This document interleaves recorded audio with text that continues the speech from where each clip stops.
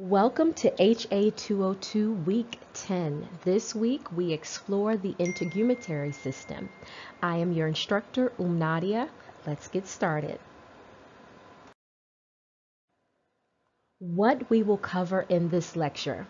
So this week, as always, we're going to be talking about herbs and their actions as it relates to the integumentary system, the forms, dosage, and also contraindications. We're also going to be talking about one of my favorite, another one of my favorite medicine making activities, which is bath teas.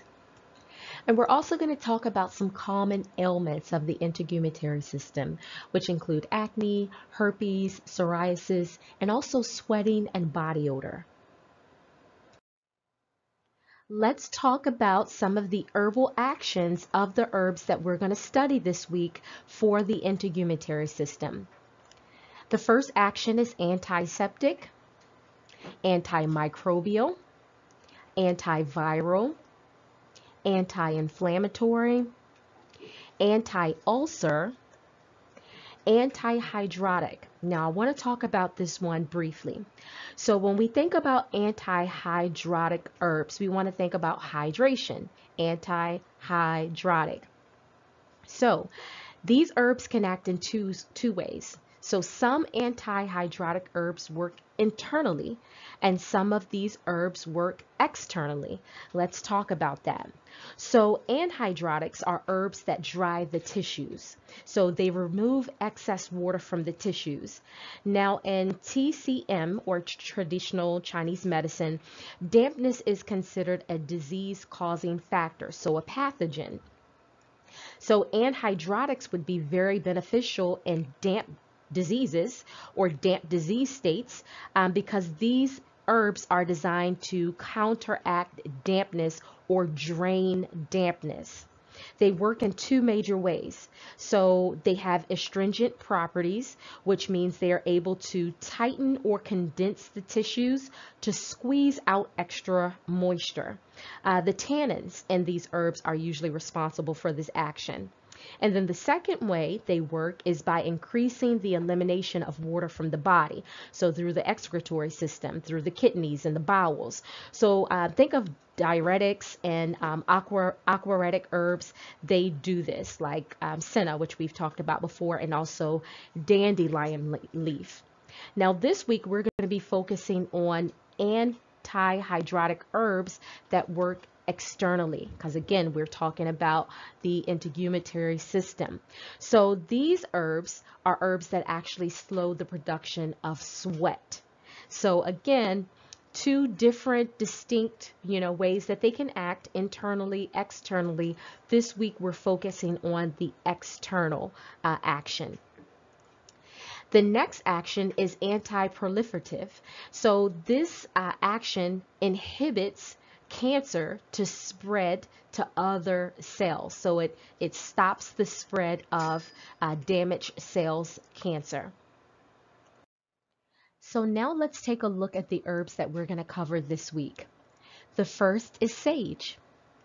Some of its actions include antiseptic, antihydrotic, antimicrobial, antiviral, and antispasmodic. The next herb is Bupleurum.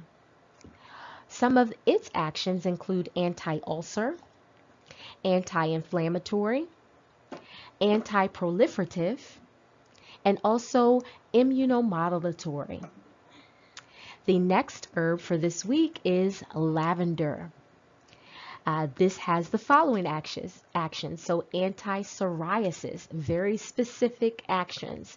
Something I want to note here is when you see very specific actions, so actions that actually work on a specific disease, those actions have usually been studied scientific and given that specific action.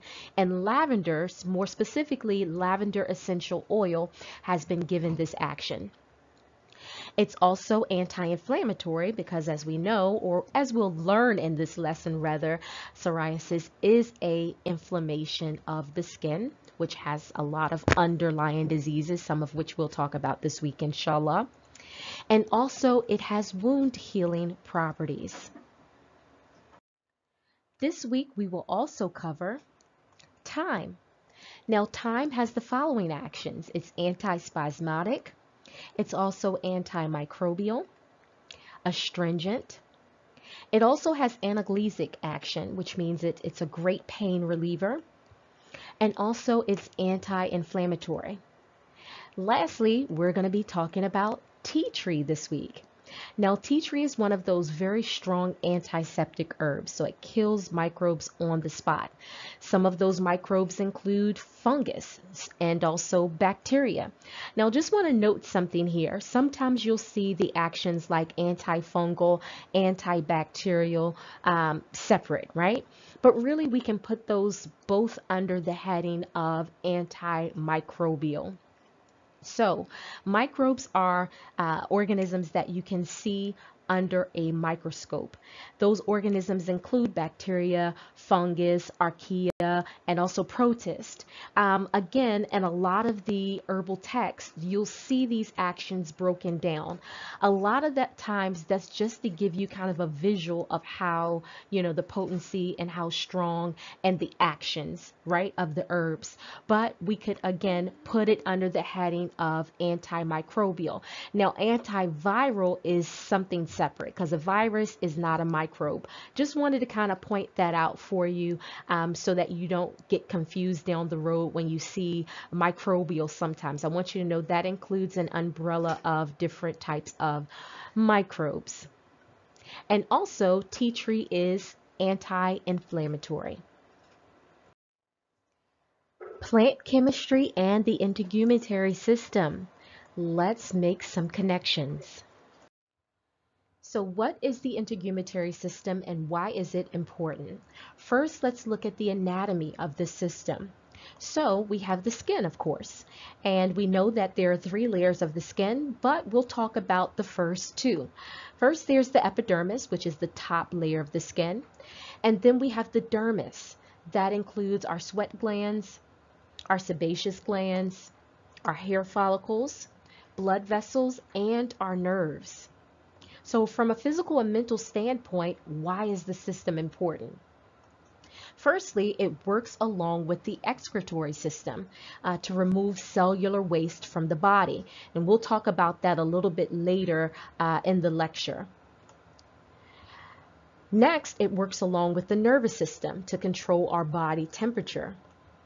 And then last, it works along with our immune system to prevent pathogens from entering into the body. Now, from a you know physical, spiritual, mental, and emotional standpoint, this is just uh, just like the endocrine system we talked about last week. There's the soul, heart, mind, and body connection there. Uh, last week we talked about you know underneath it all. This week it's covering it all. Allah's divine signs. Let's talk a little bit more about that. Allah subhanahu wa ta'ala mentions in the Quran the skin. And let's listen to what he says about it. ويوم يحشر أعداء الله إلى النار فهم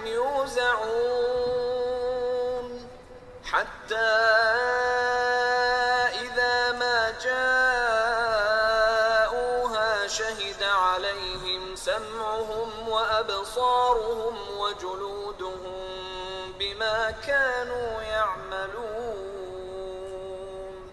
وقالوا لجلودهم لم شهدتم علينا؟ قالوا أنطقنا الله الذي أنطق كل شيء وهو خلقكم أول مرة. وإليه ترجعون. أشهد عليكم سمعكم ولا أبصاركم ولا جلودكم ولكن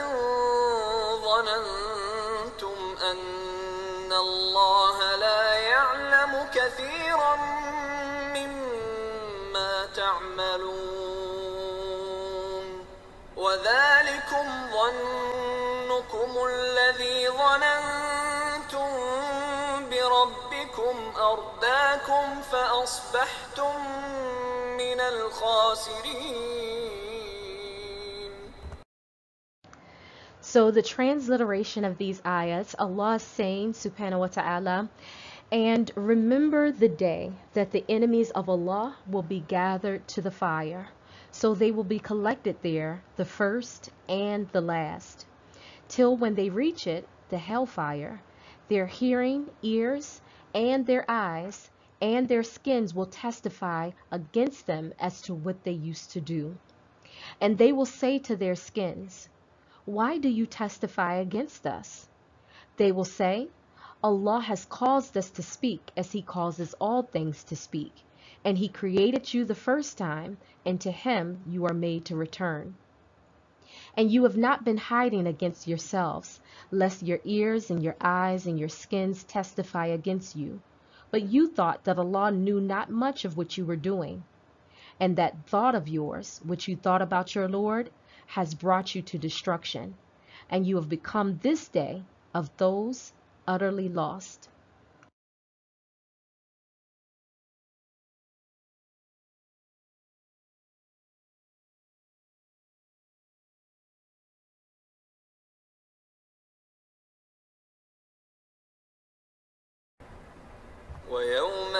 يحشر أعداء الله إلى النار فهم يوزعون حتى إذا ما جاءوها شهد عليهم سمعهم وأبصارهم وجلودهم بما كانوا يعملون وقالوا لجلودهم شهدتم علينا. قالوا أنطقنا الله الذي أنطق كل شيء وهو خلقكم أول مرة وإليه ترجعون. أشهد عليكم سمعكم ولا أبصاركم ولا جلودكم ولكن ظننتم أن الله لا يعلم كثيرا مما تعملون وذلكم ظنكم الذي ظننتم بربكم أرداكم فأصبحتم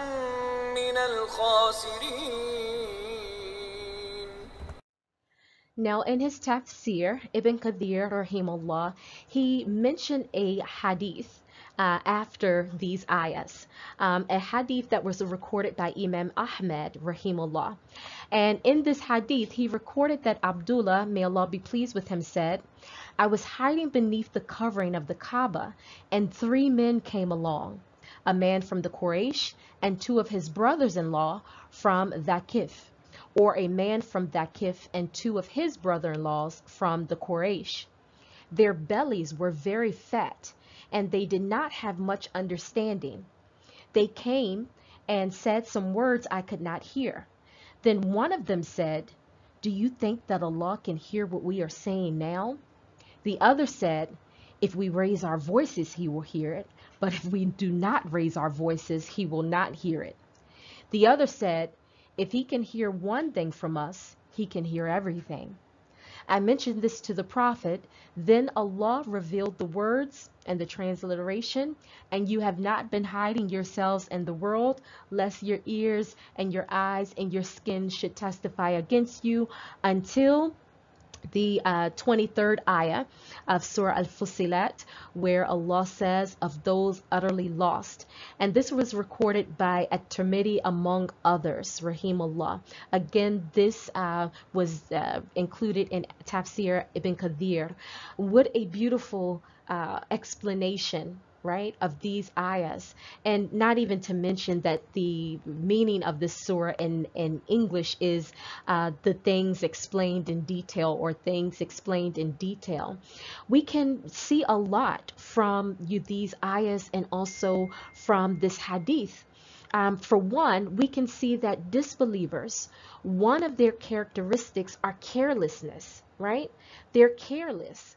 Listen to how Abdullah, radiallahu anhum, he he talked about these men, right?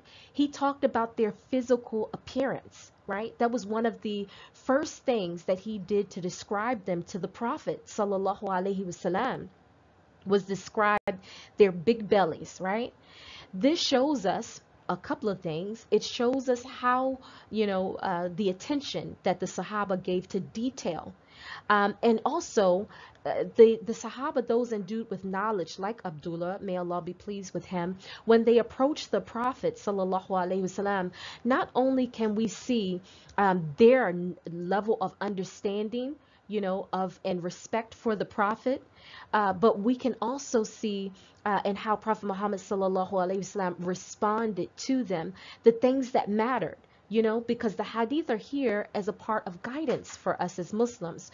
So when they went to the Prophet sallallahu alaihi wasallam, um, those with knowledge didn't want to waste his time, and they tried to relay and get understanding on matters and they would bring forth the details of the matters that they felt may be relevant in prophet muhammad sallallahu alaihi wasallam giving them a you know a, a good uh, advice about it and in this case, Abdullah radiallahu anhum was blessed to have ayahs revealed about this situation. Subhanallah. So firstly, he mentioned uh, that these people, right, they had these big bellies. Right? That's really the only physical characteristic that he gave of them, and that they had big bellies this is characteristic. Remember, we talked about when we talked about the digestive system, I believe, about how Prophet Muhammad wasallam said that the believer eats with just one intestine and the disbeliever eats with seven. So we know that, you know, overindulgence, right, in things, not just food, but in in sexual acts in uh, haram talk, right, haram actions is a characteristic right? And this is carelessness on their on their part. And this care, carelessness stems from another blameworthy characteristic that they have which is ignorance of their lord. Because next after he described their big bellies abdullah radiallahu anhum he talks about you know what they were saying right? They said some words he couldn't couldn't hear but allah allah allowed him to hear the latter part of their uh, conversation where one was asking, do you think that Allah can hear what we're saying? Now check out where they're at. These people were at the Kaaba, right? They were at the Kaaba having this conversation and they were they had a certain level of uh, taqwa, awareness of Allah to even ask, do you think Allah can hear what we are saying? Right? So whether they were Muslim, non-Muslim, or just disbelievers who, because during that time, um, paganism was rampant, you know, in Mecca.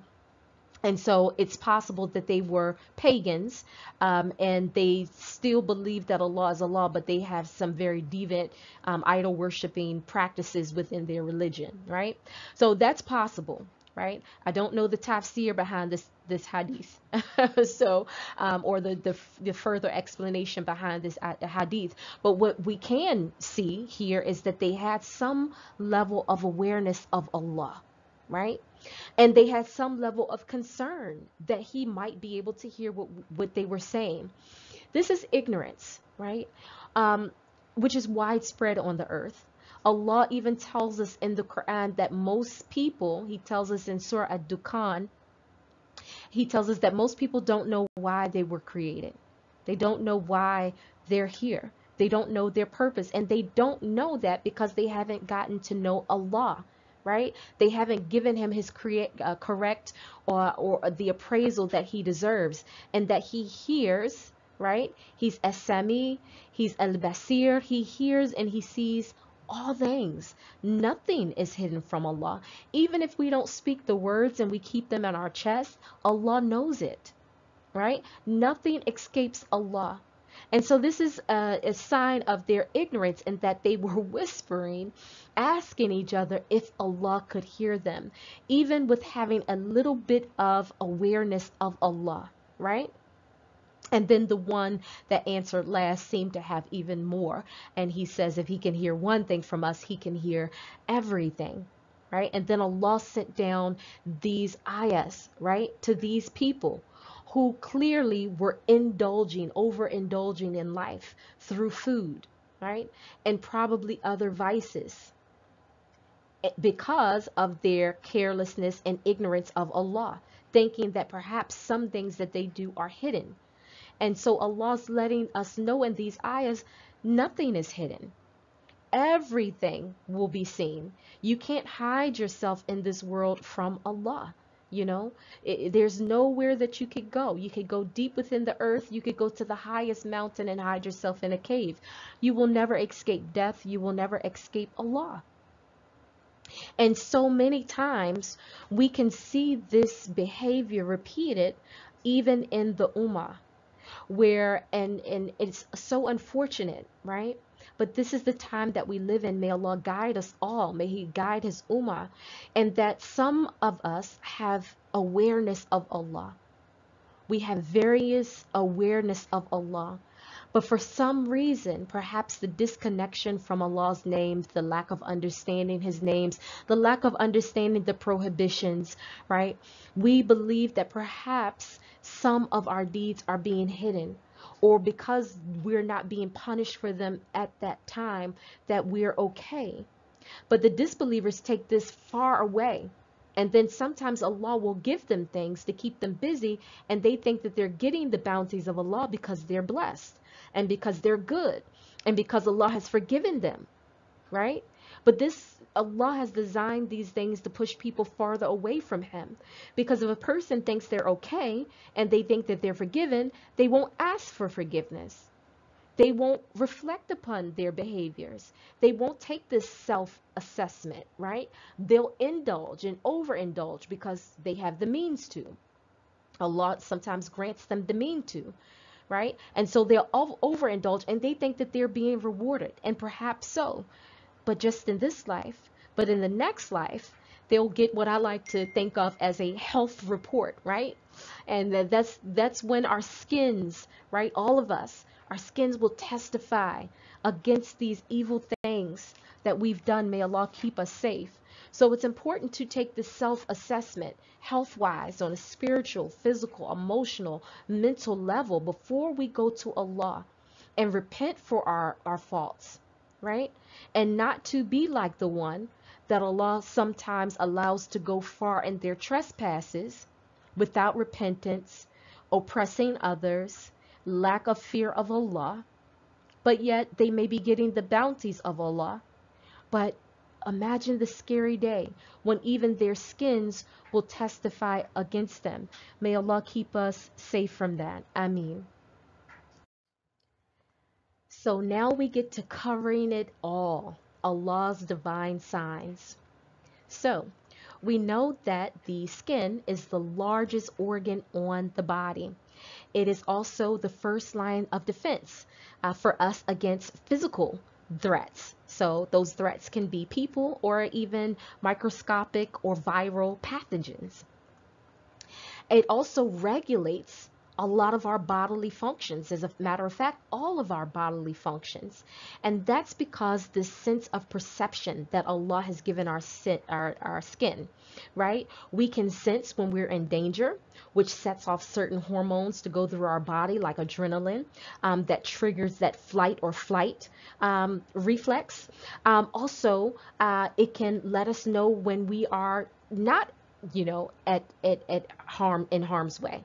Um, it can also uh, alert our body to pathogens that have entered in through the skin so that our body can, you know, our immune system can start a immune response to protect us. So all of these beautiful functions that Allah has given our body again as i mentioned i like to look at you know uh, this as a part an important part of our wellness report or our record right that we'll get and prayerfully in our right hands on the day of judgment. I mean i mean i mean you know that allah will accept our striving forgive us for our mistakes and help us give us the tawfiq to be successful in implementing what we're learning here and sharing it with others so that we will get our record in our right hand and we will be able to go to that blessed meeting and hear Allah say to us and all the believers that, you know, He is pleased with your striving. He's pleased with you. He's pleased with us. I mean, I mean, I mean. Also, you know, this is a beautiful sign of Allah and just how He structured our skin. We know that our skin has three layers and it's so important for us because it's a we constantly have to purify our skin and specific parts of our bodies uh, with water right? That shows us the constant need for purification of this body spiritually and physically and how and those actually have an emotional and mental uh, effect, right? Because we know that when we do the wudu, and we do it completely for the sake of Allah, every drop of water, as it drops down, it sins, minor sins falling off of us. This is the importance of prayer. It keeps us clean from one prayer to the other of these minor sins. And it also keeps us physiologically and spiritually clean as well, right? So it, it, it promotes homeostasis in the four domains. Also, we know that the uh, an important uh, uh, function of the skin is the remover of waste. And a lot of that is done through, through our capillaries. Um, now, there are no capillaries located in the epidermis, but they are located in the upper layer of the dermis. Now, the capillaries, they serve an important function. You know, when it comes to nourishing the lowest layers of the epidermis, they do that by a process called diffusion.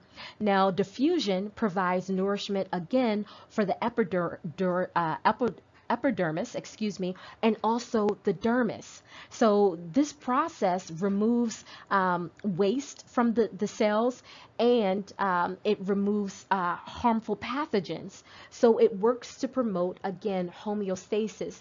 And so when we think about this, think about cupping we know that that is one of the sunnah remedies that Prophet Muhammad sallallahu alaihi wasallam he was very constant in getting cupping done on himself recommending cupping to others. And that's because the capillaries they serve a lot of functions within the body. But one of those functions is like gas exchange right?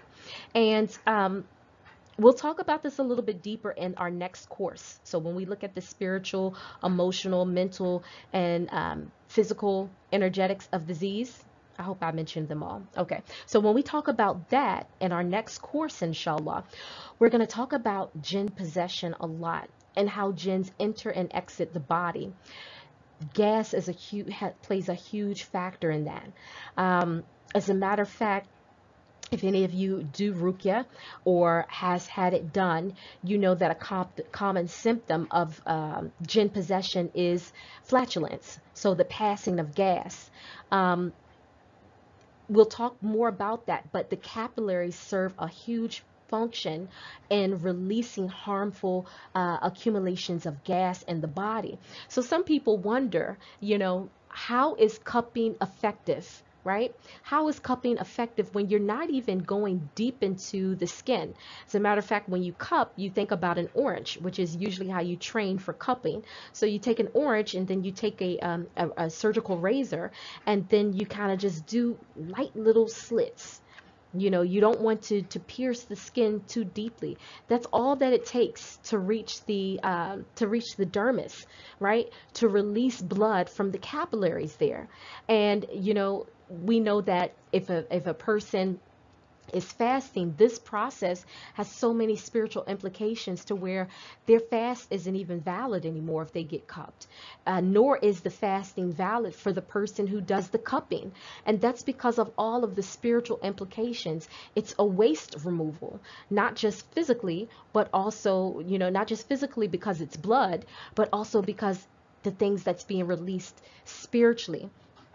And then lastly, I want to mention that, you know, our skin is so important because it will be the organ, again, the largest organ that will speak the undeniable truth about us and against certain uh, ones from Allah's slaves. May Allah keep us safe from our skin speaking against us.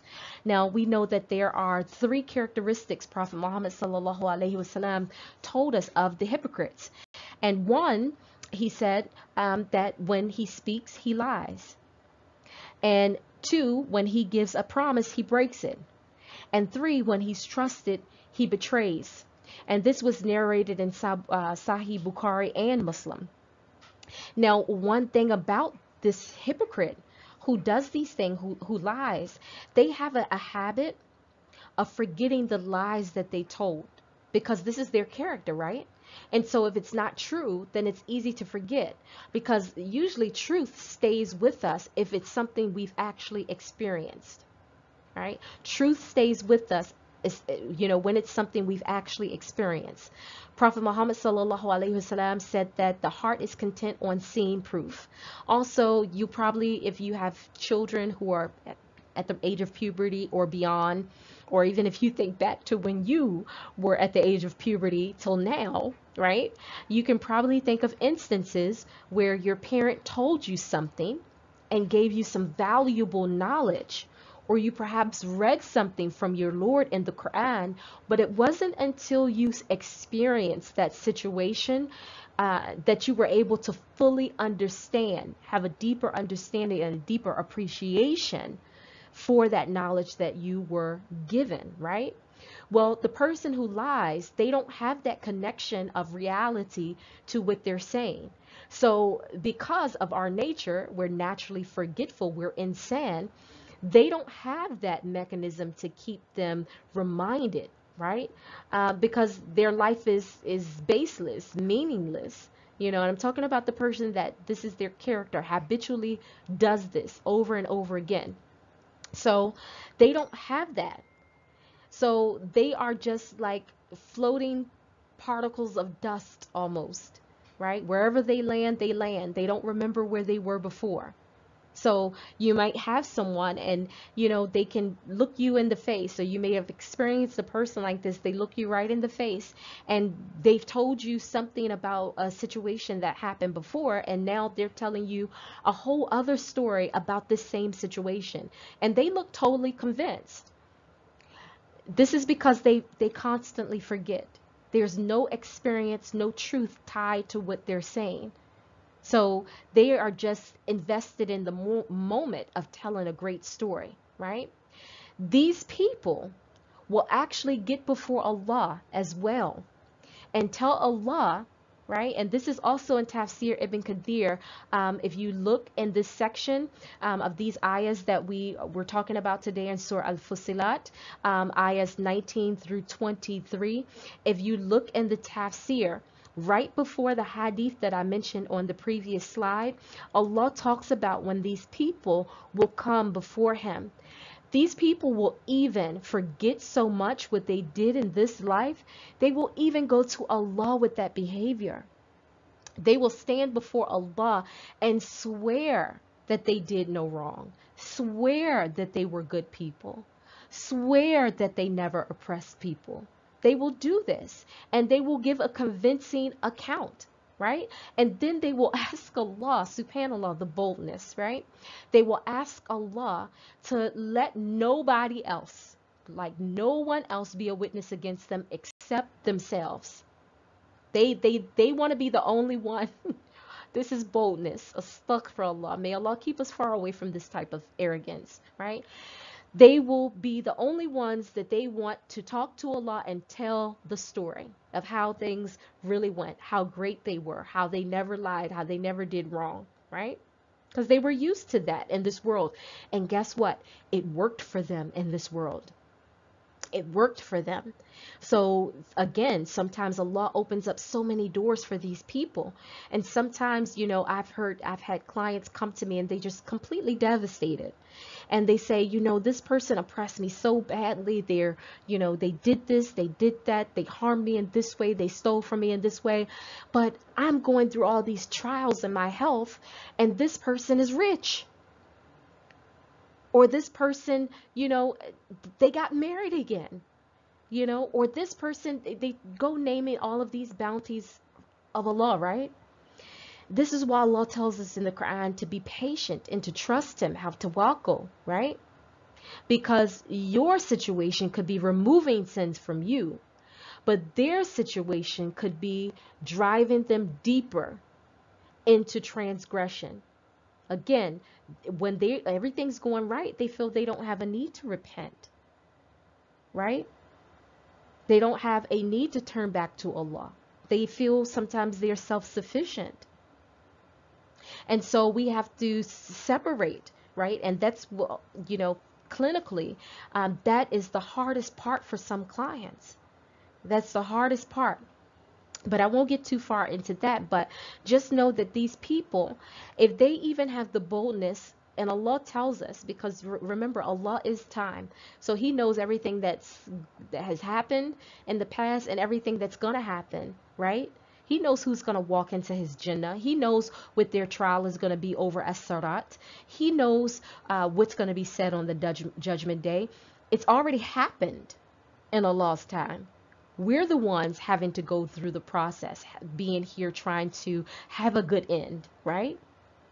So, with that being said, again, these people will even go before Allah wanting to tell their story and be the only witness, right? They don't want any witnesses to their crime. So they want to be the only person that tells it because the stories got them away so much in this life. But guess what Allah will do? He will allow them. He say, okay, well, today you can be your only witness. you see, Allah, right?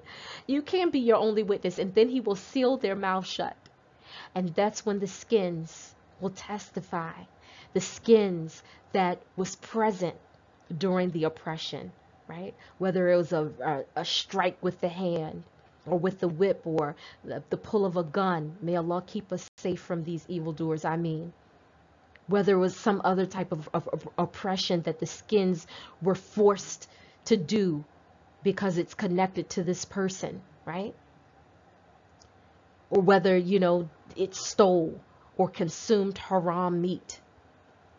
Whatever the skins did, there's a full record, a full record that the systems, right, the organs will, you know, uh, they will be the witnesses they will be the witnesses. So the skins will testify, and then those organs, those hormone release from the endocrine glands, the intestines will testify, right? From what you ate, they, they will be the witnesses, all connected to that person. So that day, the undeniable truth will be told. So I like to use this as an example for my clients sometimes, and I hope that it benefits you because it benefits me when I when I go over it. And that don't worry about what people have done to you, right? Don't worry about what they have so much. Know that the people who tell you lies in this life and so blatantly sometimes lie to your face and you know that they're lying and the people that sometimes not just lie to you but go tell lies about you to other people and distort the truth and get away with it right turn perhaps turn your children against you turn your relatives against you they will have their day before Allah and all the truth will be told. It seems like it's a, a, a, long time for us in this life, but the Sahaba used to remind each other often, just a few more days. Just a few more days. So I encourage you, I remind myself to be patient. Be patient and those with knowledge knows that, you know, things are not always what they look like. So that's covering it all, Allah's divine signs. Let's talk about ailments of the integumentary system. So the first ailment we're going to talk about today is acne. What is acne? So acne is actually very common. It's a skin condition that happens when the hair follicles under the skin become clogged. Now, the hair follicles are located in the epidermis and the dermis. And what happens is oil and dead skin actually get into the pores and it causes outbreaks. So a person that has um, acne can actually have different presentations of acne. So sometimes you'll see lesions, sometimes it's more pimple-like, um, and sometimes those pimples may be filled with pus. Um, and that's because, and it really depends on what's inside of those lesions. So bacteria, sweat, and, and again, oil and dead skin can plug those areas and cause different presentations of acne. So most often, um, acne outbreaks occur on the face, but it can occur anywhere on the body. So if you have a client, they're coming, they're presenting rashes, uh, keep in mind that it could be acne on you know presenting on a different part of the body so there's different ways that you know acne can be uh, diagnosed and usually you know, it's just kind of a, a visual observation, um, asking about a person's family history, um, because genetics could play a part. Um, also, uh, hormone imbalances can play a part. So, especially when you have like preteens, it's very common in people under their 30s. So, acne usually clears up um, after a person, you know, uh, reaches the age of 30 and beyond. But before that, especially in the preteen phase, you'll see a lot of acne happening, and that's because of puberty. And so, asking about these things, especially if you're you know, trying to do a consultation with someone remotely um, is very helpful because you can kind of get an idea. Also, acne can reappear during menopause for women, again, because of hormonal changes. Also, asking about symptoms. Um, and also uh, acne can come about because of you know certain medications that a person is taking that causes an excess of skin to um, of dead skin or skin regeneration at a quicker rate rather um, than normal uh, and which can cause those pores to, to clog up and also some medications can cause you know oily skin as well um, so this is usually, acne is usually di uh, diagnosed by um, a person's dermatologist. So that's a person who specializes in conditions of the skin, hair, and nails, or a person's primary health healthcare provider. Um, so a, a, doctor, an internist, a pediatrician um, can also usually diagnose acne. Um, again, it's very common, so something widely seen. So um, become familiar with the different presentations of acne uh, just so you know how to go about identifying it and also treating it. Now there are again different types of acne. I'm not going to go into a huge detail here um, but we've all probably heard of whiteheads. So this is a type of acne um, that stays where the um, where the lesions and pimples actually stay under the skin and produces a white bump. Again, that's called a whitehead. Um, also, you'll have some acne that actually reach the surface of the skin and open up, and these are called blackheads. You'll see some appear as small pink bumps on the skin. They can be very tender to the touch. Um, again, some of them have that white or yellow pus-filled lesions. Um, some some acne can be really localized on the face, so maybe just in a patch. Some can be just like, you know, all over, like a widespread area over the face or other parts of the body. So again, very common, but different presentations. And um, it can be kind of tricky to diagnose um, especially if you're not familiar with the other uh, ailments of the skin that we're going to talk about uh, momentarily. So that is acne. So now let's talk about psoriasis. So what is psoriasis? Uh, firstly, let me introduce you to the page that we're on. As you can see, we're at the Mayo Clinic website. I enjoy this website and I definitely want to refer you to it to learn about different diseases. Um, it's a great, they give a great overview of various diseases and then they also provide references where you can go and see the peer reviewed research papers um, that they base their overview so, what is psoriasis? Uh, firstly, let me introduce you to the page that we're on. As you can see, we're at the Mayo Clinic website. I enjoy this website and I definitely want to refer you to it to learn about different diseases.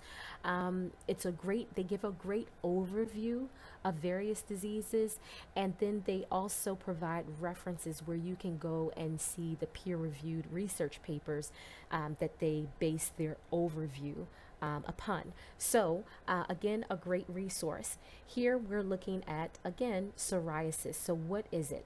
Psoriasis, just like acne, is a very common skin ailment.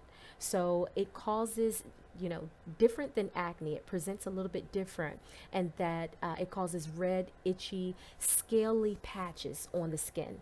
And these uh, presentations usually happen in a certain part of the body. So we'll see those happen in knees, um, the, on the elbows, uh, the trunk, and also the scalp. Now, Western medicine says that this is a long term chronic disease, no cure. We know in Islamic medicine that is not true. Prophet Muhammad sallallahu alaihi wasallam told us that Allah says for every disease he sent down, he also sent a cure. So um, as you'll see with psoriasis, it is a it's not just the physical presentation as no disease is, but it has some deeply spiritual uh, implications. Um, so let's talk a little bit more about psoriasis. So um, psoriasis again can cause these patches uh, they can come and go so they go through uh, phases of you know activity and then they go into remission and the reason for that is though uh, is because even though we are talking about psoriasis as a ailment of the integumentary system it is actually an autoimmune disease right? So it's a disease of the uh, immune system and also the nervous system. Um, we're going to talk about how that is when we talk about the different forms of psoriasis because there are quite a diff, uh, quite uh, a varied um, list of types of psoriasis. Um, but just know that it is a autoimmune disease and remember an autoimmune disease uh, means that the that the body's immune system becomes overactive and so it attacks itself. So we have different presentations, as I mentioned, and uh, another reason why we're on Mayo Clinic's website is because they have awesome pictures so we can see exactly what it looks like. And this is really good when you get into your clinicals to have this as a resource. So when you have clients, you can kind of look at real pictures from clinical practice of what these um, presentations look like. And so, one of the first types of um, psoriasis is something called plaque psoriasis. So, this is actually the most common form, and this is this first picture that we see here. Now, with plaque psoriasis, it causes dry, raised red skin that's usually very, very itchy, um, very like irritating. Um, sometimes you'll see this, you know, a lot of times it presents on the arms, on the hands, and it can be very frightening if you see it in real life. Um, I've seen it quite a, a few times, but um, these things are not contagious whatsoever. Again, this is the person's immune system attacking itself. So it's something that's going on internally. Again, usually very itchy, tender, very painful sometimes to um, the person that has it because they start to itch, which can open up those uh, you know those plaques on the arms and you know start burning and introduce other back you know other pathogens into that site which can cause inflammation and a host of other diseases. Um, the next uh, type of psoriasis is something called uh, guttate psoriasis. So this primarily affects young children and adults, and that's the picture that we have here. Um, it's usually triggered by a, an infection, a bacterial infection in particular. So you'll see this a lot with patients that have staph in, or strep throat, excuse me, strep throat. Um, and you see, you know, a, a, maybe a child presenting with uh, this type of, you know, skin irritation. It could be a symptom of strep throat, especially if it's accompanied by a fever and a sore throat. So these this type of psoriasis is is its characteristics um, are small, drop shaped um, lesions, usually happening on the lower back, the arms, the legs, the upper body, the neck. Um, next, we have something called inverse psoriasis. Where is that? Okay, so I'm not going in order here, but here's inverse psoriasis. And what this is, is it mainly affects the skin in the folds you know skin that that's in the between the folds of something so like in the groin area um, the buttocks and also right under the breast as in this picture now, um, this type of psoriasis actually pre presents in very smooth patches. So you won't see like the raised kind of bumpy presentation with that. It's usually very, very, it's like smooth skin, but you can tell it's like discolored from the rest of the body.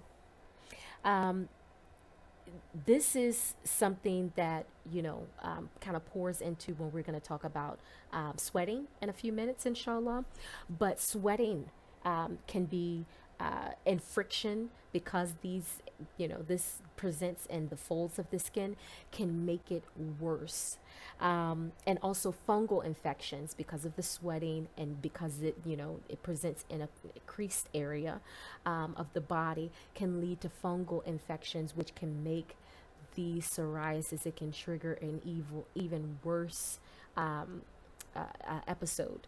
So, you know, when you're thinking, if you decide to, you know, or if you have to make a client uh, product for a client that has um, inverse psoriasis, you're going to want to think about um, something that could keep them dry, um, something that may, you know, will keep out water, um, so prevent water um, and something that would be non-irritating because of the location. So you might think in, uh, in terms of fine herbal powder mixture or, or, something of that nature. Just to give an idea i mean we will talk in deep detail about things like this when we get to product design. Um, but just want to keep you always thinking about the now and then also um, thinking forward. Okay so the next type of psoriasis is something called and I want to follow along with their pictures, but so let me back up. Um, something called scalp psoriasis. So you know, just like it, it sounds, this is something that happens in the scalp. Um, a lot of times it presents like our plaque psoriasis. So it's like these, you know, thick, um, sil uh, silvery scales, right? Um, causes a lot of itching, just kind of like which can turn into a rash, um, and and sometimes it can cause hair loss as well. Next, we have um, something called nail psoriasis. Now, we talked back in IH 101 about being in tune with our bodies, looking at our tongue, you know, as, you know, for symptoms of disease. But our nails can tell us a lot about different types of diseases, particularly psoriasis. Okay, so psoriasis can affect the, the fingernails, it can affect the toenails. Um, it can, it can cause something called pitting, where the nail actually looks like it's scooped in. Uh, it looks like it's scooped in. Um, I had a client like uh, that had this before, and it literally, the nail. I wish I had a picture of it. This is not. Uh, this is not pitting what we're seeing here on the skin, but if you can imagine, imagine taking a, the nail off, right, and putting your thumb right in the middle of your nail to kind of do an indentation so to speak, to where you have the edges of the nail going upward in the middle pressed in, and then putting that nail back on the finger. Literally, that is what pitting looks like. Um, and it's a sign of psoriasis. So sometimes, you know, you might have a client, and um, because these skin ailments come with a lot of shame people are ashamed, um, particularly, especially if they've grown up with this. People think they're contagious. And so it brings about shame. So some people like to cover themselves, and you would never know that they have psoriasis if they didn't tell you.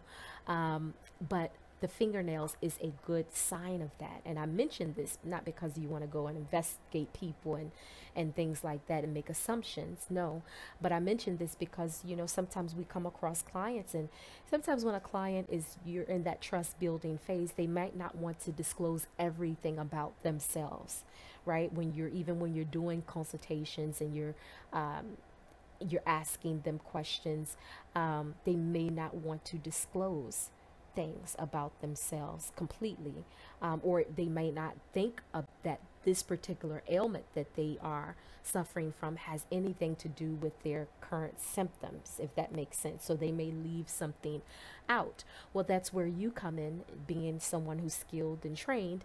You can take visual cues when you do your, you know, initial assessments. So the nails can tell us a lot about um, psoriasis. So again, can cause that peeling. It can cause abnormal nail growth and also discoloration. So with psoriatic, uh, psoriatic nails, um, these nails could actually loosen and separate from the nail bed. And so what happens is the nail actually at right at the tip kind of separates from from the nail bed. So the bottom part of the nail where the cuticle is is still connected but the top of it is raised that is a sign of um, psoriasis. And also in very severe cases, the nail can completely come off. So it can crumble to pieces, um, which is a sign. But this is what we're seeing on this uh, screen is uh, this is like, you know, um, a very not severe case, but definitely a presentation of nail psoriasis. So next, um, we have something called pustular psoriasis. Now with this, this is actually rare so we don't see this a lot um, this causes like acne so you'll have those pus filled lesions that occur in widespread patches um, they can occur on the palms of the hands uh, the soles uh, uh or the soles of the feet um, Next, we have something called erythrodermic psoriasis. And that's actually, this is actually very, you know, it's the least common. So it's not very common. Um, it can cover the whole body with a red peeling rash and it can be intensely painful um, and, and, and burn. Another one that I wanted to talk about was psor um, um, arthritis. Now, this causes swollen, painful joints. And I don't know if they have a picture of this on. No, they don't have a picture of this one.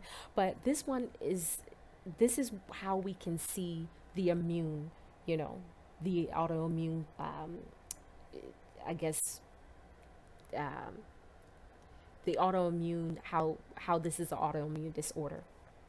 So, um, it's uh, it's an arthritis. Again it causes swollen painful joints um, just like you would see in you know any other type of arthritis. Um, sometimes the joint symptoms are the only or first symptom of psoriasis so they may not get the the uh, lesions. They may not get the um, you know the, the smooth patches or anything. It just may be joint pain. Sometimes just nail changes are seen. Um, these symptoms can be mild, they can, you know, be severe, um, and it can affect any joint in the whole body. It can cause stiffness and progressive joint damage. Um, and in serious cases, it can lead to permanent joint damage. So this is because, right? This is because it's an autoimmune problem right? It causes the skin to, well, in psoriasis, the skin regenerates at a faster than normal rate, right? And, and this is especially um, the in the case of plaque psoriasis. So we have this rapid turnover of cells. Remember we talked about plaque psoriasis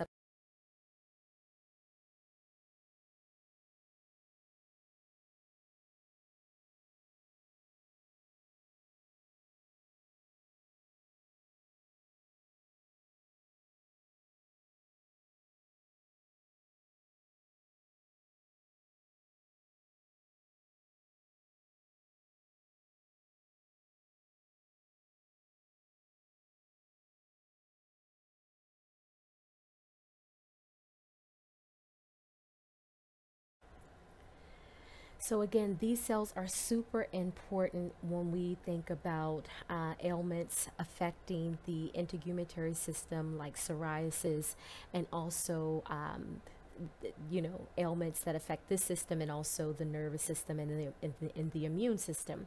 So i've included some wonderful research in your download section this week.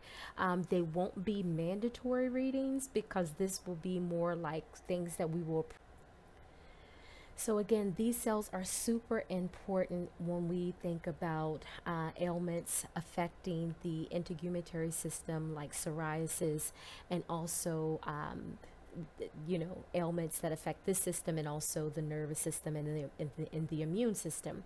So i've included some wonderful research in your download section this week.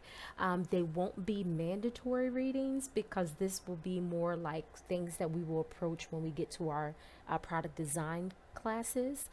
But it's great for you just to have this information and if you have time to go ahead and look over it but this particular paper that you see up now is, uh, it talks about the role of Langerhans cells in epidermal homeostasis and also um, the pathogenesis, so the origin of psoriasis. It's very detailed. I mean, it gives you the whole pathophys pathophysiology um, of the disease. It talks about what the disease are, is, all the, uh, you know, different types.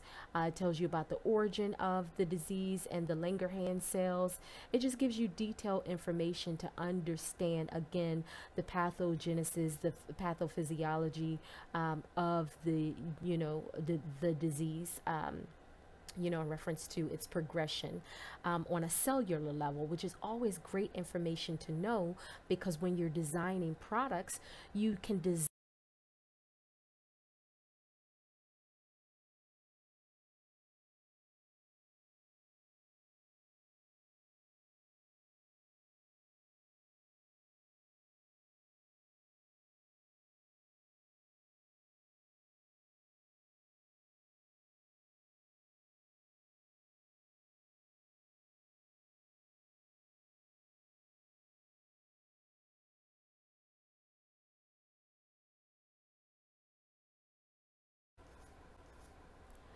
So this is another really good piece of research.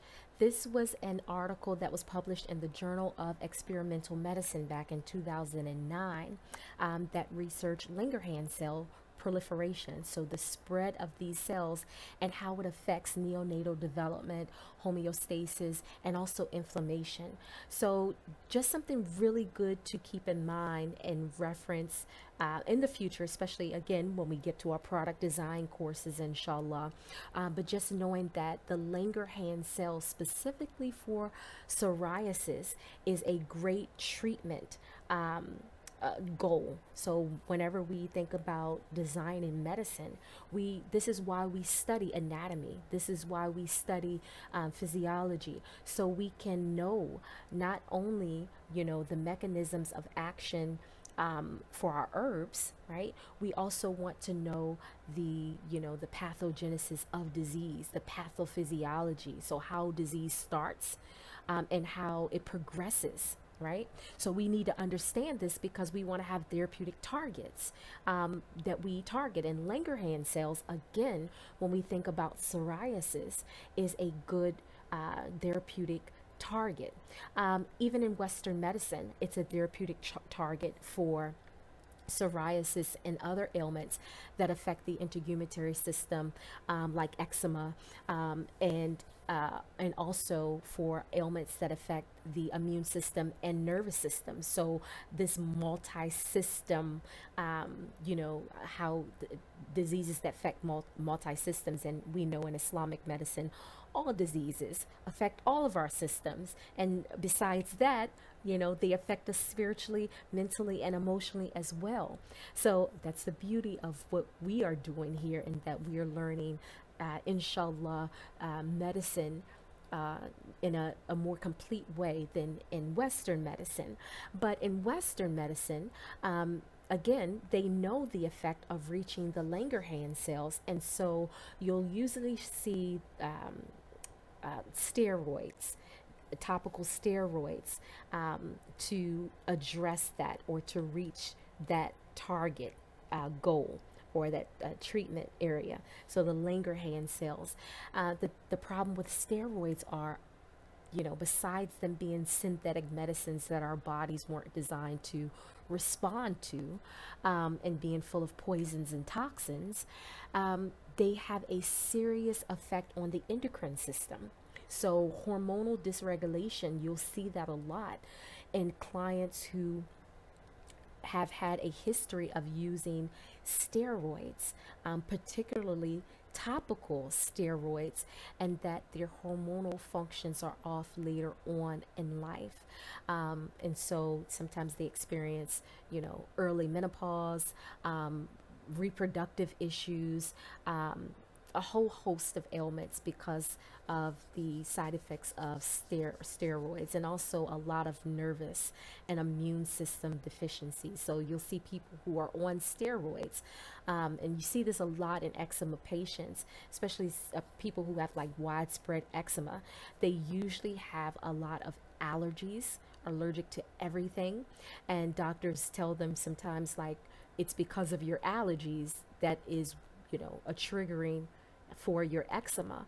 But really, what happens is that, um, yeah, they probably have undiagnosed allergies, but it's an immune system and nervous system along with the integumentary system ailment. So, this multi system um, disease, right? And so, uh, what happens is when they start to, because they're not addressing it holistically, right? When they start using steroids, it weakens, it may lessen some of the physical presentations of eczema, but the person becomes very sickly. Their immune system is, is very weak, right? Um, they stay allergic to a whole host of things. So you're not really treating, you're putting on this toxic band aid and you're worsening and weakening other systems, they become dysregulated. Um, and then you cause the um, pathogenesis of a new disease in the endocrine system. So, so again, just something great to keep in mind that when we are, you know, looking at different diseases as Islamic medicine practitioners, uh, as Islamic herbal medicine practitioners, we should be thinking about, um, you know, these different, uh, you know, not just our mechanism of actions of our herbs, but also how these mechanisms of action should affect a particular particular uh, target our treatment target within the body based upon the pathophysiology, uh, the progression of that particular disease. So again, these downloads, um, and I think I may have included a couple of other other just beneficial articles because sometimes when I'm researching, I find like new articles that came out that I didn't read before, and I'll throw them in your download section. So always check, double check, because sometimes I may not listed there in the download section, but it's there. So if you have the ability, I would highly recommend that for um, every week you print out everything and just stick it in a binder binder um, if it's not a required reading just have it there so when the class ends and you get that little two week break um, that we do inshallah you can go back and you can review that information and get a deeper understanding of the um, the topics that was presented during the course inshallah. So now let's talk about genital herpes. So what is herpes so herpes is actually a very common, or genital herpes rather, is a very common sexually transmitted infection. So common being the word. The reason why I bring this up is because we have to destigmatize um, people with genital herpes.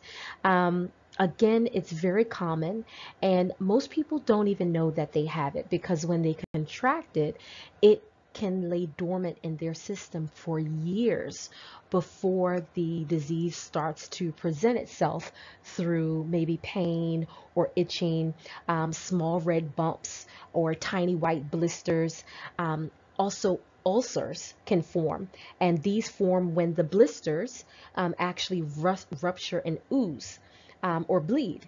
And this can make it very painful for the people that have it and it can cause scabs. So once it's about to heal, because this disease has periods of activity and remission, because this can be considered an autoimmune disease as well, um, because it, it lies in our nerve fibers, um, usually like in the lower back is where that happens.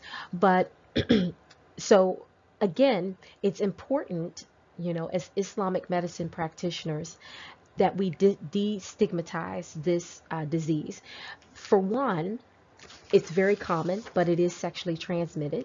So, you know, when you think about genital herpes, you think about like lewd behavior, but that's not all the way always how a person can contract it. So it is a sexually transmitted disease. So I'll give you an example. So with uh, genital herpes, it's uh, common and it's caused by the HSV2 um, virus. So there's a HSV1, and this usually causes cold sores like around the mouth or sometimes inside of the mouth. Um, now, here's the thing HSV2 is the genital part. So that usually happens below the waist.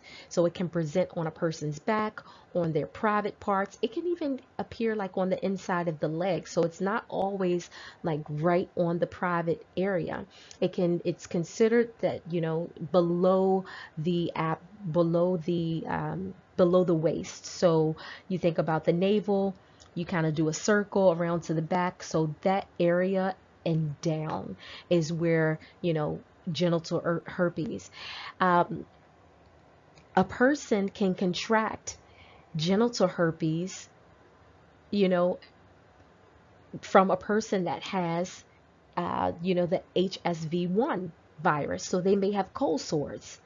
And that person may, you know, have transmitted it to a person in a lawful situation um, and now they have genital herpes. So it's pre presenting genitally. So when we see genital herpes again we have to destigmatize it because sometimes it's not always in a you know lewd fashion that it's transmitted. And again it's very common. A lot of people men and women women are common you know very common car car carriers of it excuse me. Um, but a lot of people don't know they have it because they're asymptomatic you know, you can literally have this laying dormant in your body seven, ten years. Some people show no symptoms whatsoever, ever right? Or some people have rashes, like in a weird place. Maybe they have rashes that appear on their buttocks, or maybe on their lower back, or maybe their inner thigh. And they may say, it's because my clothes are rubbing, or it's because I sweat a lot in that area.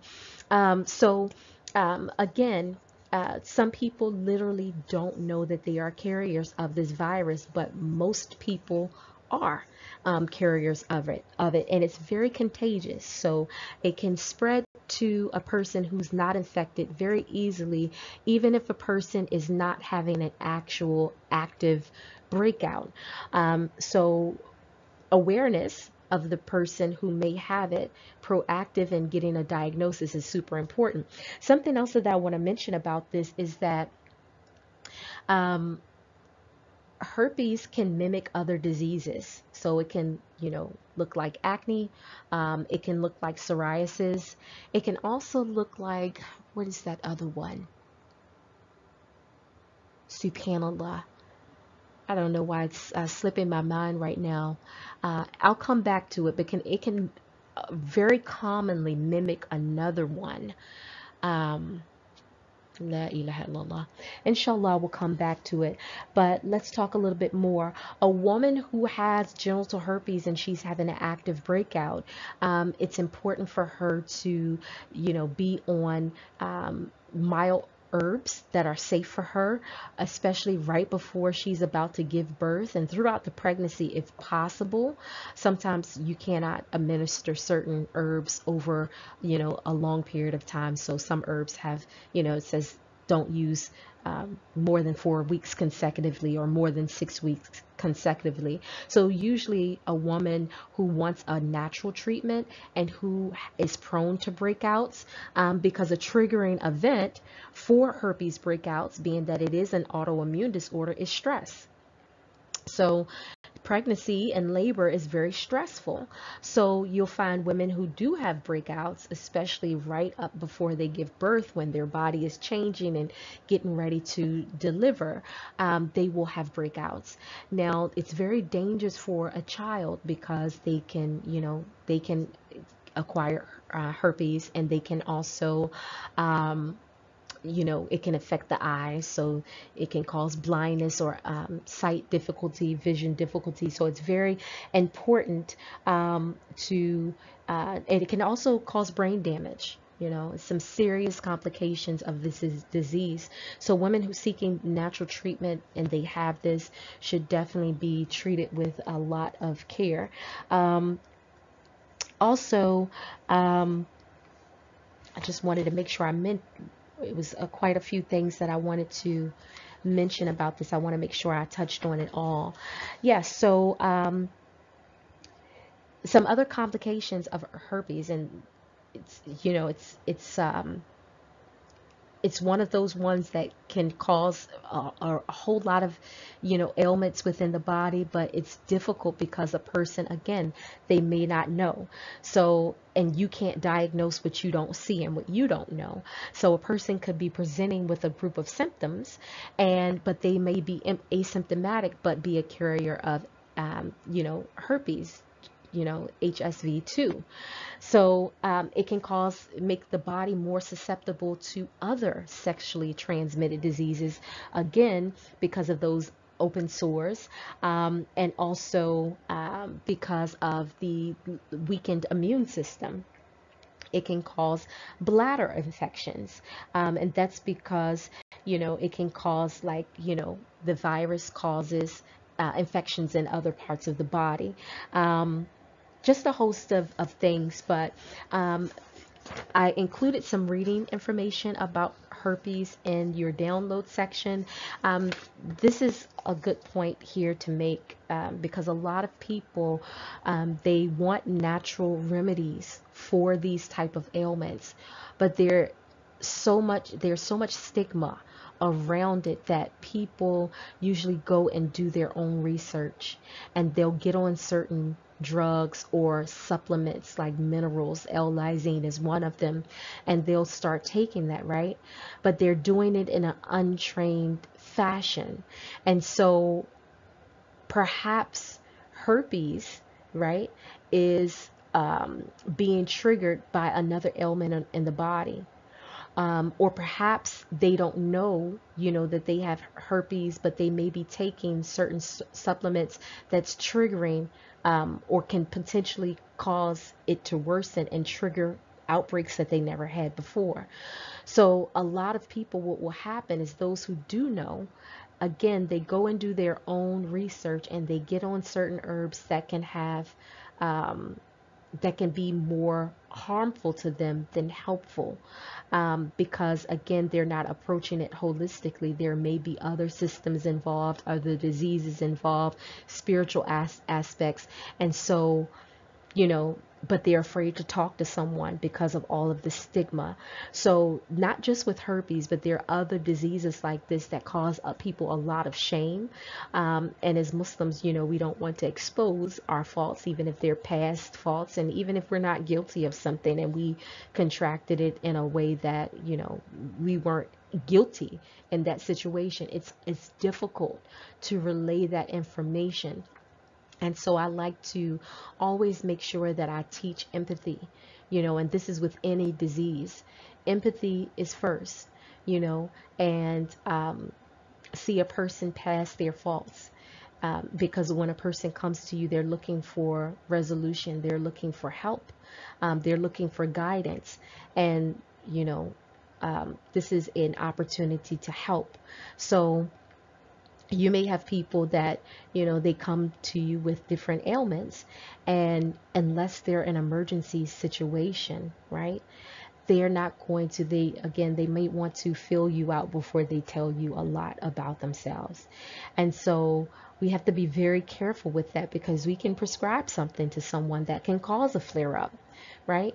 Um, and and so we always want to make sure we have that empathy piece first and being you know a brother or a sister in islam someone that you know will keep things confidential um, and professional um, and um, and and to allow the person to be comfort, comfortable with you with trusting you with that uh, you know that great amana of of of helping them in uh, through a disease like this that can bring about a lot of shame.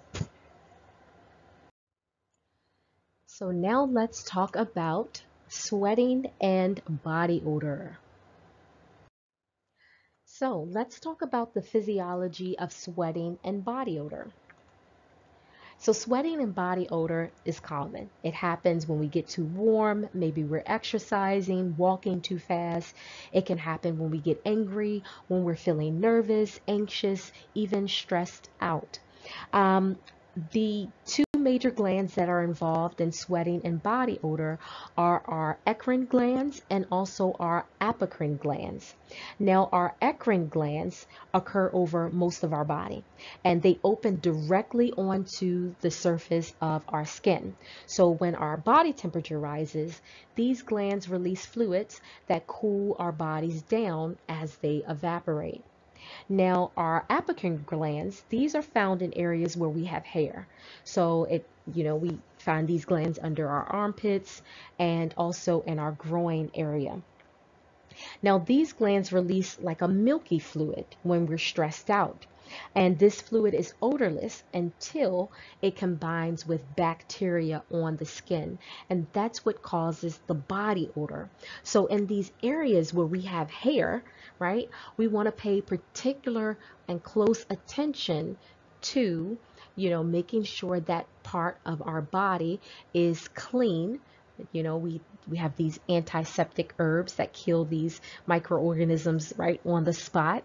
So we want to make sure that that area is clean, but this is something so beautiful here and that this is part of the natural fitra of mankind and that Allah, He loves cleanliness and He loves beauty and cleanliness is, is, is, is half of our faith right? Being clean, being purified. And, you know, we know as Muslims, we're supposed to do what? Shave these areas that can cause odors to occur every 40 days. We're supposed to keep them nice, neat, and shaved so that we don't accumulate like dead scale cell, uh, cells in that area. Um, we're able to, you know, apply products to that area that will keep us smelling good. Prophet Muhammad sallallahu alaihi wasallam loved musk. He encouraged women who were having their menstrual cycles to apply musk right at the point of menstruation. So not on the private part necessarily but in that area. Why? Because the body is impure at that point. So even if you're shaved the body is still impure. Uh, sweating is occurring. Heat is happening down there because what's what's going on with the woman hormonally. And also she is excreting waste, right? Old blood from the body, which we know carries its own harm.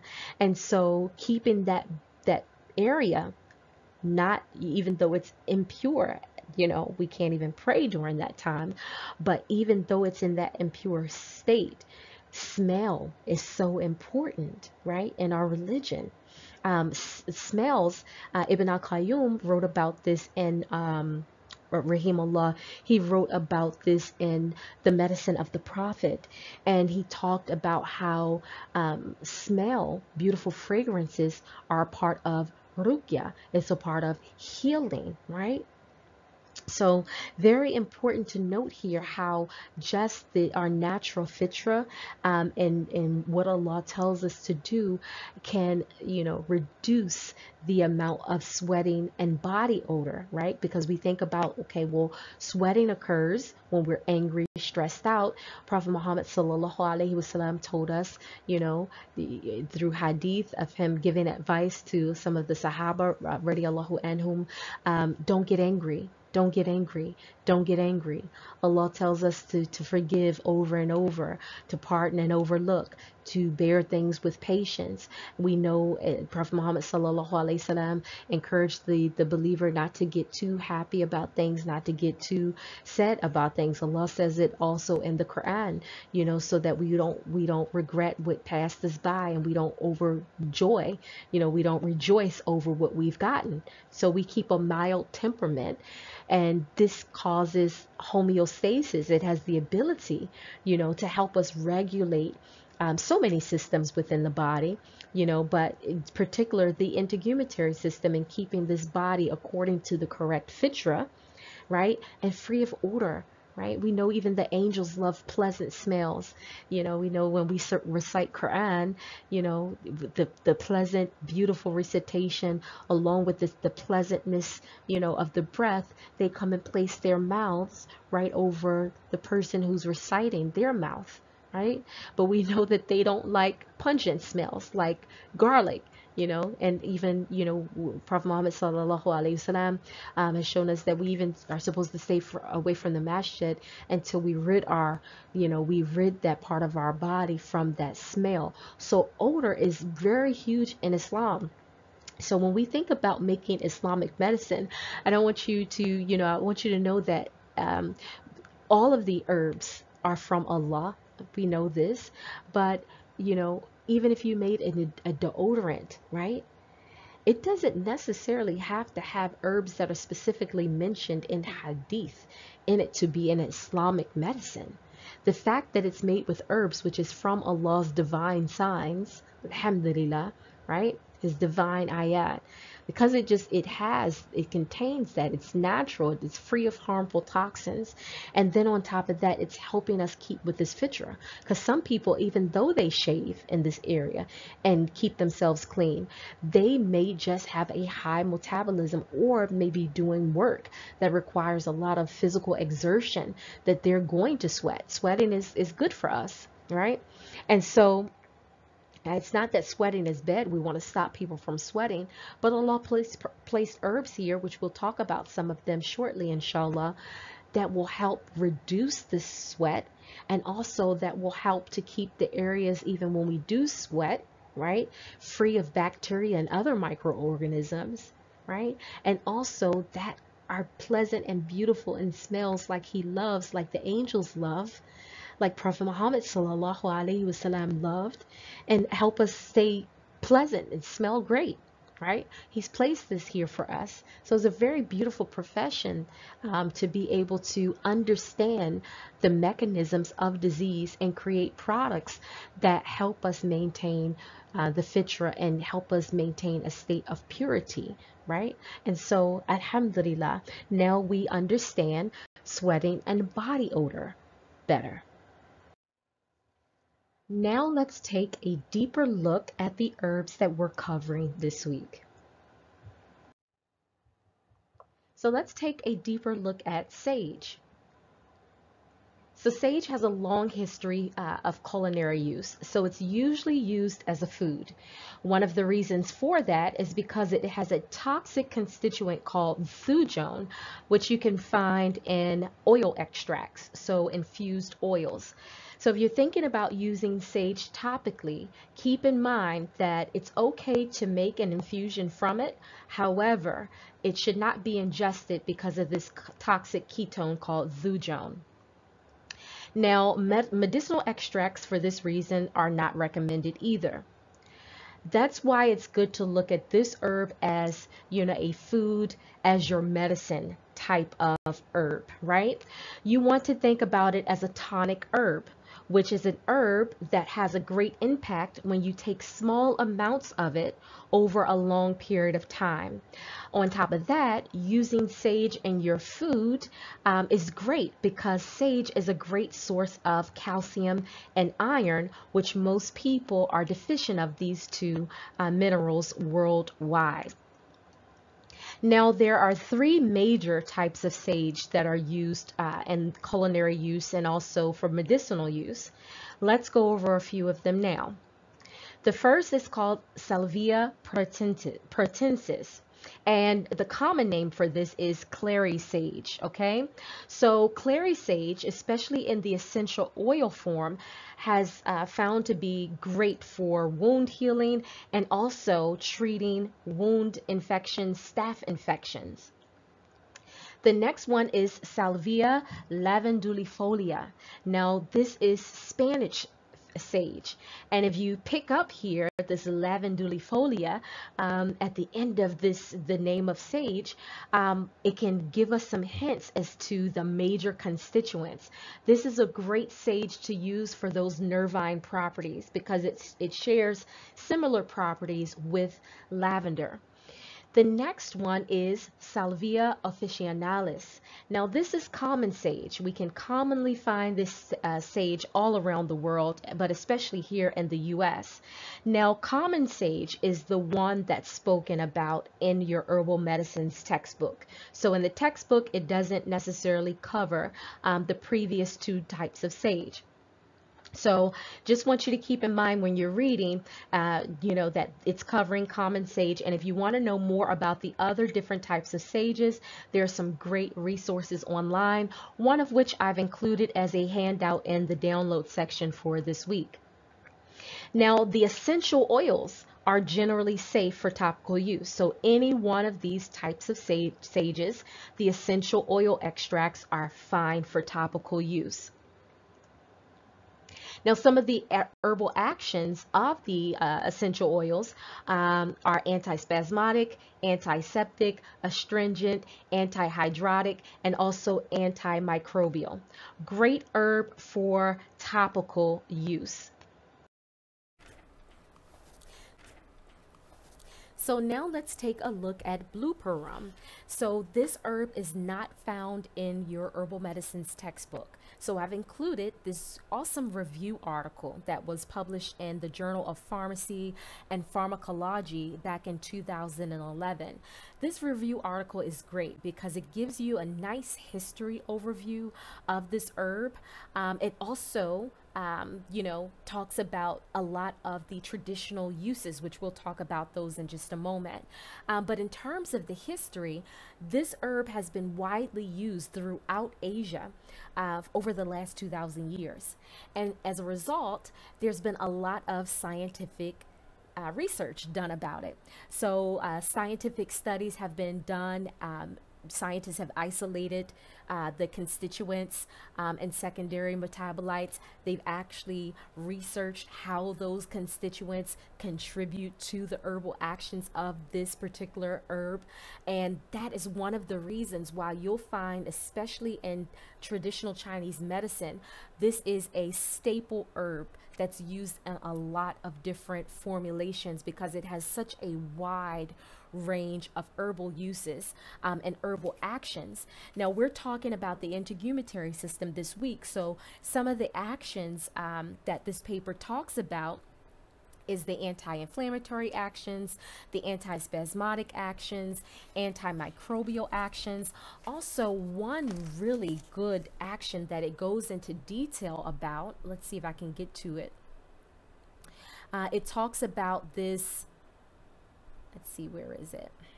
Yeah, here, down at the bottom of the page, the immunomodulatory act activity, which is huge when we think about those Langerhans cells, right? And when we think about possibly using um, this herb as a topical treatment for uh, ailments of the integumentary system.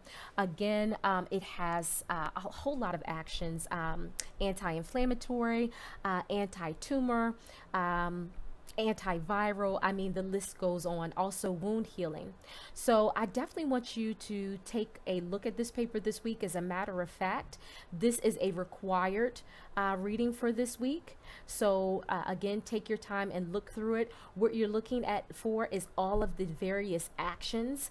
Um, and also, some of these, when it talks about the specific actions, right? It will give you dosage recommendations right? And remember, we're talking about topical use. So um, I want you to definitely pay attention to that. Um, just for, you know, an example here, I want to give you. And that's why looking over these um, peer-reviewed research papers are highly beneficial uh, as a as an herbalist because um, you can find those dosages that's based upon science. Because sometimes when we look online, we might run into, you know, a blog and they may not reference back where they're getting their dosages from. But if you are going direct to the source, to scientists who's actually studied these things for specific you know ailments and then they give you the dose that they use and furthermore they found that their study showed um, you know effects positive effects against a particular um, ailment, then you know that this is the dosage that you want to stay in. So again, as an example, antibacterial, antifungal activity, here you go up and it talks about, um, you know, in terms of um, streptococcus so a gram positive bacteria. Um, so this is the one that's responsible for like um, for, for MRSA. And so it says that the values it was effective in these values so 0.25 slash uh, 0.50 milligrams. And so you want to take a, a, deeper look into this. You want to see what form um, they used this urban, whether they extracted a particular constituent and they're talking about this amount for the extraction. There are conversions when we get into our dosage and formulations portions of our course or our curriculum rather um, where you can uh, say for instance a scientist has you know, they have isolated a particular constituent and then they test that constituent on you know for a certain ailment whether it's an animal whether it's you know just in cell cultures or whatever right there's a way that you can convert the whole plant right? Take the whole plant. So you're not isolating. We're not isolating as an herbalist, but you can get the same dosage, you know, that they studied by just isolating a constituent. I hope that makes sense. Inshallah, it'll make more sense when we get to our dosage and we really start studying that in detail. But just know that that exists. So when you see this research paper, please, research papers like this, again, pay attention to their dosages. Again, pay attention to like with their dosing if they're just doing a constituent that they're pulling out or if they're actually using the whole plant though so the, the crude herb. And then you can kind of uh, do your you know have some idea in terms of dosage. Um, and also you can look at other online sources that are credible and that link back to peer-reviewed research. So again this can be found in the download section of your um, of your class um, under this module for this week Okay, so again, review it. You'll see a lot of this information on your So now let's talk about Lavandula angustifolia, lavender. Now this week we are talking about lavender essential oil, okay, and its major components. Now this is a great paper. This was actually recently published uh, and back in 2020, so just two years ago, in the Journal of Ethnopharmacology. And this is really great for what we're doing in this class um, to have some updated information. And on top of that, this paper talks about the anti-psoriatic effect of lavender essential oil and also its major constituents that contribute to this anti-psoriatic effect, which are linalool and also linalool. So this week, we are going to be reading this paper um, because you won't find lavender in your herbal medicines textbook. So this is a great resource, an updated resource uh, about lavender essential oil. I'm so excited. I get so excited when I see recent research and I actually had to re reach out to one of the researchers, um, so Vineet, the first researcher that you see here, um, because this is actually a paid, um, you know, you have to pay for some journals journal articles, right? So this was actually paid. So I actually reached out um, and asked the one of the the authors for you know a copy of it and alhamdulillah they were able to give me a copy of this paper so um, alhamdulillah for that i'm really excited for us to have that and um, so this week we'll be learning about some of the actions of lavandula angustifolia for the integumentary system. Again, this paper is all about psoriasis, but it also touches on eczema. It, touch, it touches on um, also dermatitis. Um, some other actions of lavender essential oil that's mentioned in this paper is the um, wound healing, um, also the anti-inflammatory effects of the oil. Um, and again, it just lists a whole lot of beneficial information. Now, not only did they do a uh, an experiment to uh, test out these major constituents and their anti-psoriatic activity, um, and they found that yes, um, lavender essential oil does have a positive, it does have that anti-psoriatic activity, um, uh, at least in rats anyways. So, um, so, but uh, in addition to that, what they did, you know, as a part of their analysis is they talked about all of the major compounds of lavender oil, right? And they listed them. And this can be found on page I believe this is page five, okay? So you'll see this on page five, um, but as you can see here, in this column, constituents, as you can see, um, the molecular formula, which is something we don't really go into too much detail this in this course about that. But at the end the last column you see the pharmacological activity. So we see that there see the monoterpenoids they contribute to the anti-inflammatory um, and uh, effects. And also that uh, linalool that we talked about earlier which is one of the major constituents that anti-inflammatory um, that pain relieving activity. So this is really good. I mean it's a whole list here as you can see so of just the compounds and it's great to be familiar with all of this. Now take your time. This is the major portion of the paper that I really want you to pay attention to. And sometimes when you're not used to reading studies like this a lot of this can just be like just boring. But for this class what we really need to know is are the results. Uh, so this is on page seven you see? The results. So if you read the results and also you know, you also read um, on page 11, it, it gives you a conclusion, right? So for what we're doing in this class, those three sections are enough. Looking at the major constituents, looking at the results of their study, and also the conclusion. Now, when we get into our research classes, we're going to be reading these types of papers in detail because this information is super important. Um, when you think about using essential oils for your preparations, I want you to refer back to your dilution charts. Okay, that's it for uh, lavender, and you'll see some of those questions on the. Now let's talk about thyme. So thyme is remarkably similar to sage and that both of them are commonly used as culinary herbs. So when you think about sage and thyme, think about food as your medicine, think about tonic herbs. So almost like sage, the oil infusion of thyme is toxic when ingested. However, if you want to make an oil infusion of this herb, it's all right if you're just using it to make a topical. Topicals made with thyme work great as long as you don't have an allergy, uh, you know, towards the herb. Now, the herb is great for topical use. You can use it as an antispasmodic, uh, antimicrobial agent, and also an astringent agent. Now, even though the oil infusions are not recommended uh, to take internally, tea and extracts are safe.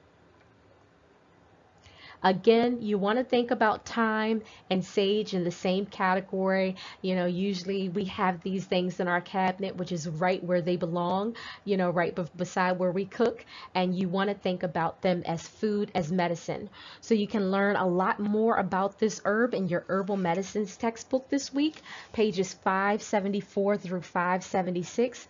Please be sure to pay attention to its major constituents, its dosage, uh, for both the uh, tea and also liquid extract.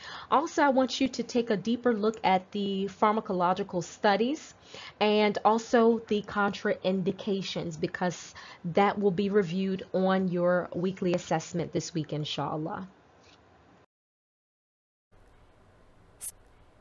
So last but not least, let's talk about tea tree oil.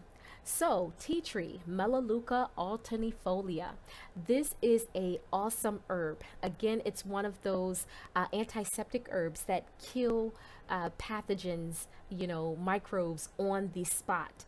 Um, this review article, I put this here in your download section. This is a required reading for this week because you won't find any information about tea tree in your herbal medicines textbook.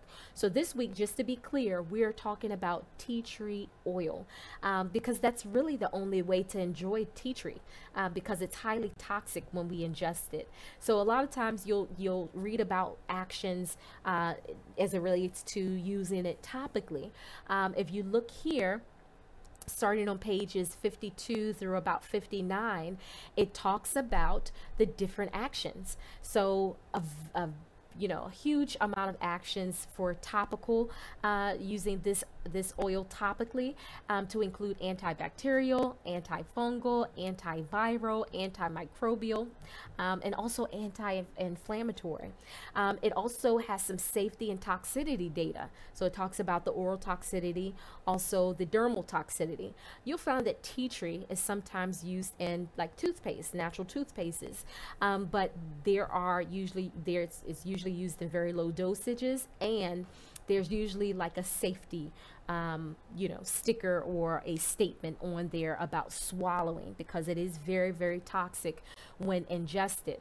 That's how strong it is. So that's how strong it is. So again this is a required reading for this week.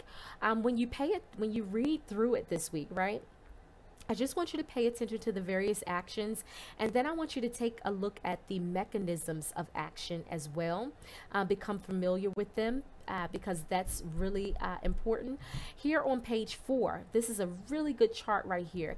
It tells you all of the uh, the types of bacteria um, that were tested against tea tree oil um, and had some effectiveness against those those particular uh, bacteria.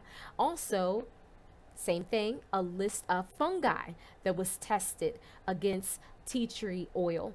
And, um, and you know, again, all of these on this list, um, tea tree oil had uh, you know, action against those particular bacteria and fungi. So just a great deal of beneficial information um, in this paper.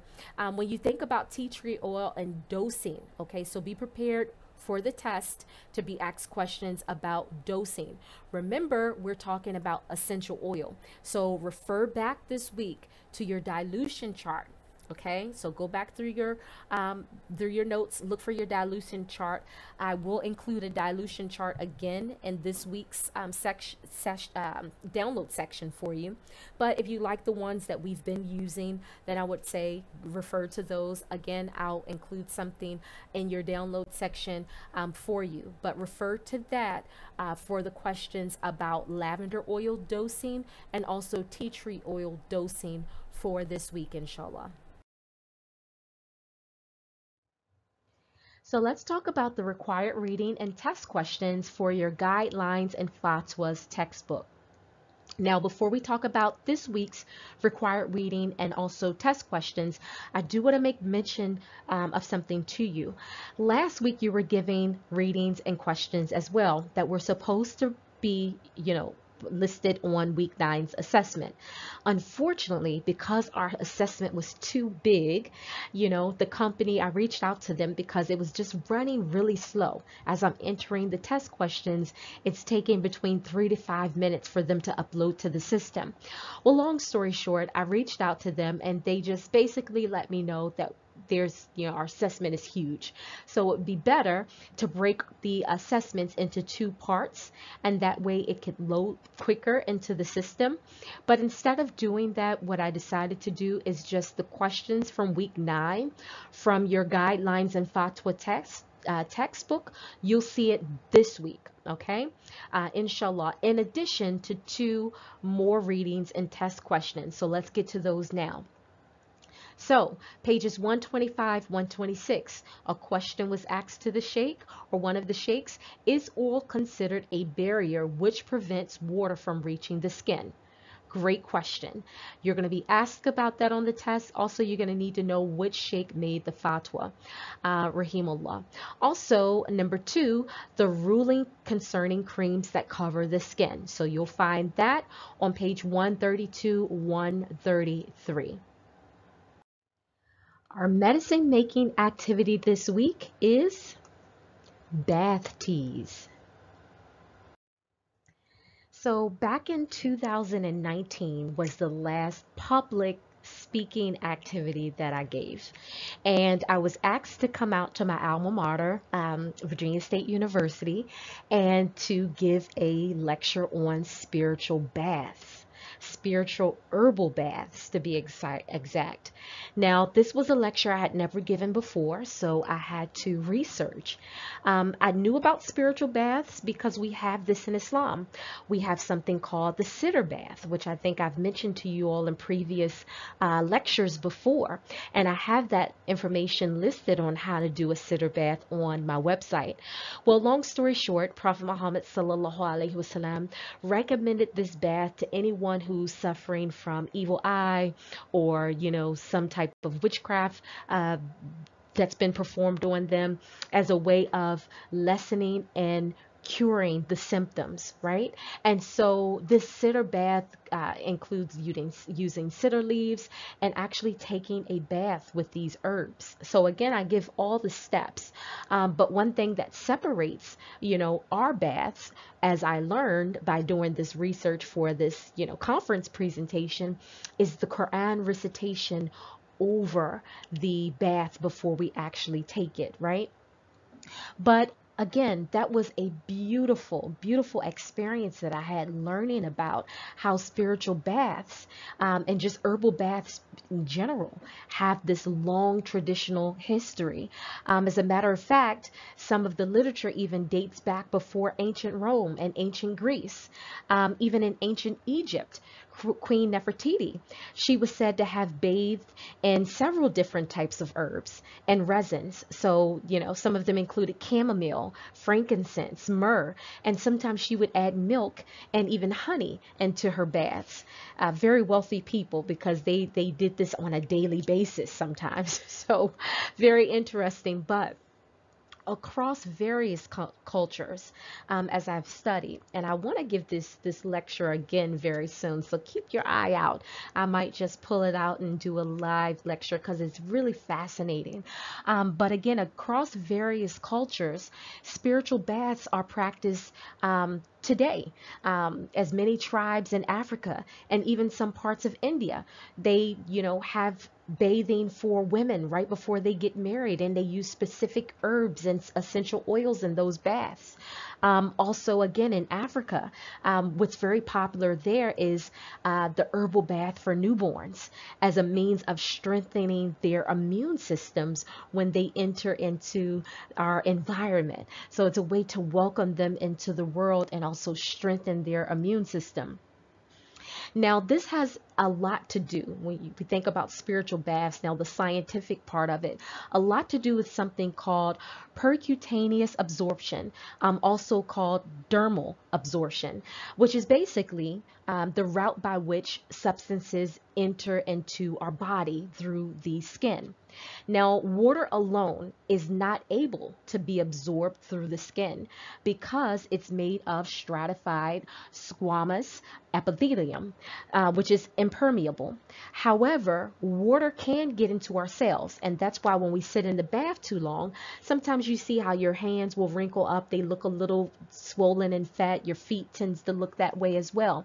And that's because the water can enter into our cells, but it can't go beyond that. It, you know, it can't go beyond our uh, epithelium because or it can't be go go beyond our skin because it's just water and it does not have that ability to penetrate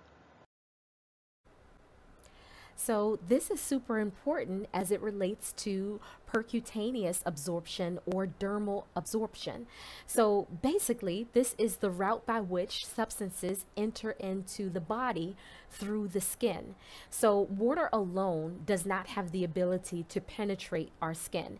And that's because of how our skin, you know, is made. So our skin is made of stratified squamous epithelium, which is impermeable. So water cannot enter it. Um, however, water can enter into our cells. That's why if you sit in a bathtub too long, you notice how your fingers are little, you know, look a little fat and kind of wrinkly. Um, also, your feet can look like that as well. And that's because the water has entered into the cells but it, they, it doesn't go any further than that. It can't go into circulation and into our body. Um, but uh, research has shown that certain plant extracts, right, like coffee, avocado oil, chamomile, um, essential oils like peppermint, um, can actually be absorbed through the skin, so can cause transdermal absorption. Thus, we have science kind of catching up with this long traditional use. Like the people who lived before us, they knew this, right? Um, and they perhaps, Allah knows best, maybe they did, maybe they didn't, have the scientific, microscopic kind of research um, to validate what they were doing but they knew that it worked. They knew that it worked as a preventative treatment for disease and also as an intervention uh, treatment. Uh, because when we look into, and, and this is a, a lecture that I would love to dig up and, and give really soon because it's just really fascinating. But when we look into the history of herbal baths, right, we see that so many uses. I mean, it can be used to re relieve fever uh, reduce fever, um, also quick acting for uh, muscle pain, joint pain. Um, it's particularly really good to be used for autoimmune disorders because there are scientific studies that show that just baths by themselves without the you know herbal interventions have therapeutic effects uh, because you know for one it's been found that heating inc- increases this transdermal um, absorption. So, and then the heating of the water as well is very soothing and calmative to the nervous system. Um, it has a whole lot of other, you know, uh, physiological benefits. Um, but for people with autoimmune disorders, we know that it's an immune system problem and also a nervous system problem. So just the fact that they're bathing, for one, is a de-stressor because we know that stress is a trigger um, for autoimmune um, relapses.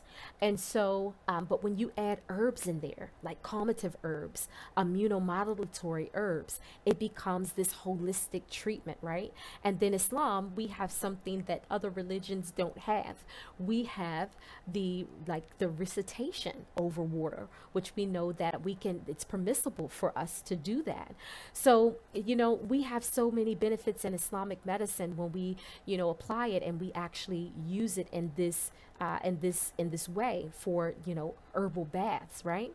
Um, and again, this is science kind of catching up with this long traditional use, validating this long traditional use. And even though this paper, which I will uh, leave a link to this paper in your um, in your uh, class description for this week. I'll leave that, that there. Um, but this paper talks about just a few herbs, but there's so much other research that shows this transdermal absorption by other plant ex- extracts.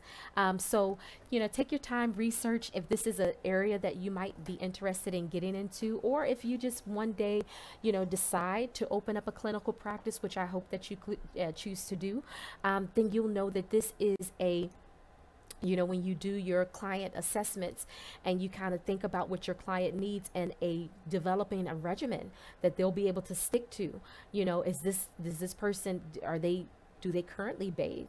Is bathing something that they they like to do or even physically able to do?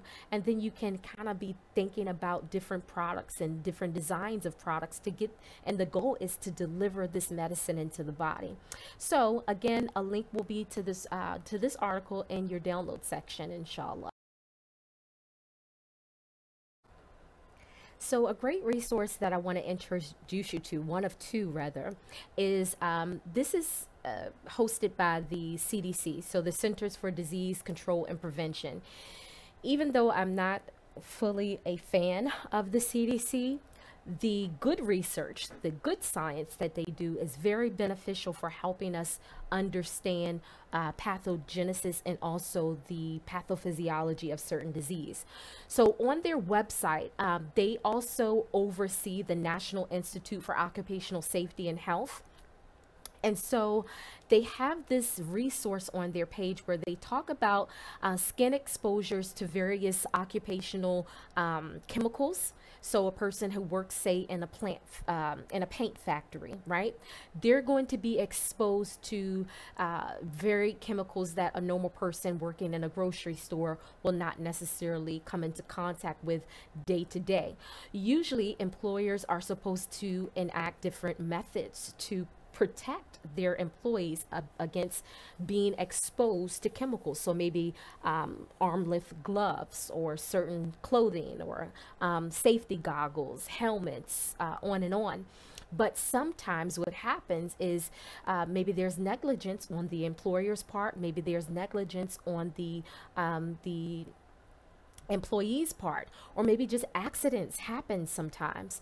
So again um, to train employees and employers on how serious uh, trans transdermal uh, absorption is they've created this resource just to show people how serious um, you know these you know being exposed to harmful chemicals can be for the skin.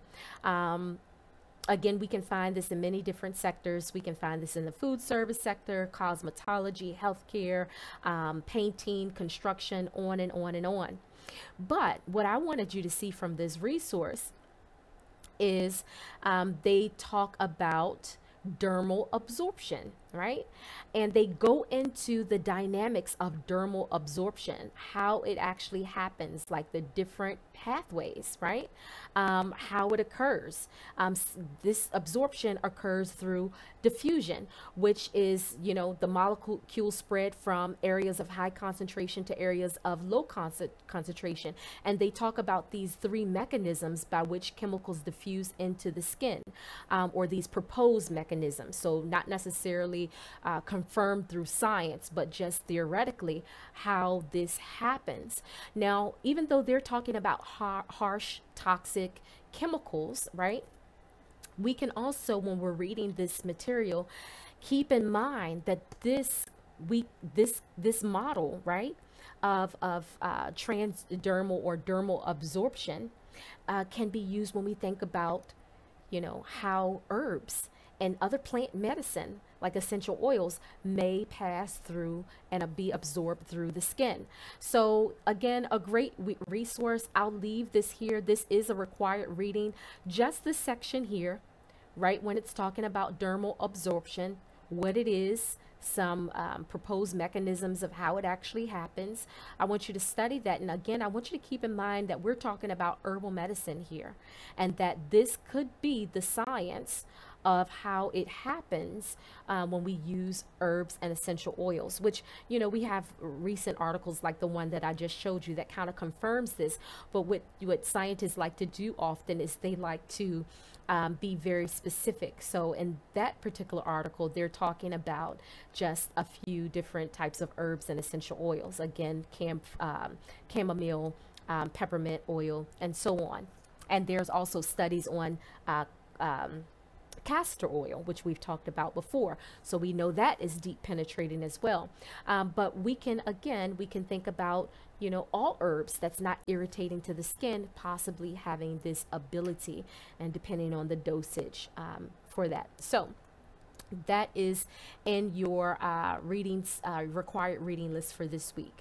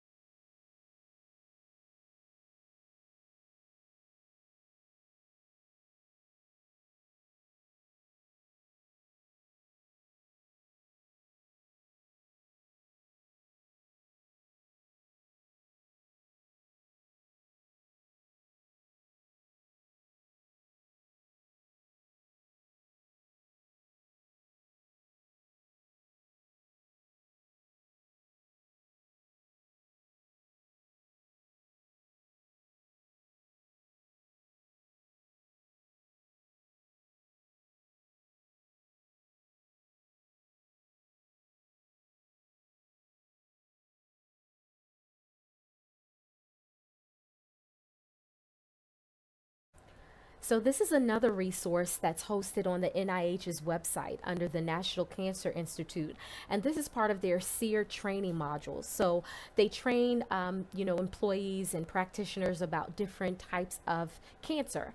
Now, in this module, they're talking about melanoma, um, but they have an awesome anatomy of the skin uh, uh, module within their uh, their uh, module for melanoma.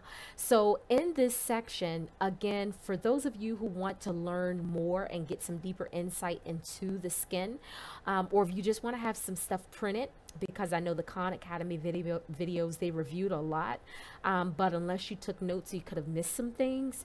You might want to print this out. Um, this again, a great resource telling you about the different layers of skin, the cells found within those layers of skin, um, where blood vessel, the hair follicles, the sweat glands are located where we can find nerve endings. I mean, just on and on and on and on. Um, something else, um, it has a whole list of where we can find lymph nodes. Um, so, you know, where they can be found, their primary site, and the re regional lymph nodes that's found at those sites. So again, just a very beneficial resource. I will include a link under your supplementary readings um, section for this week.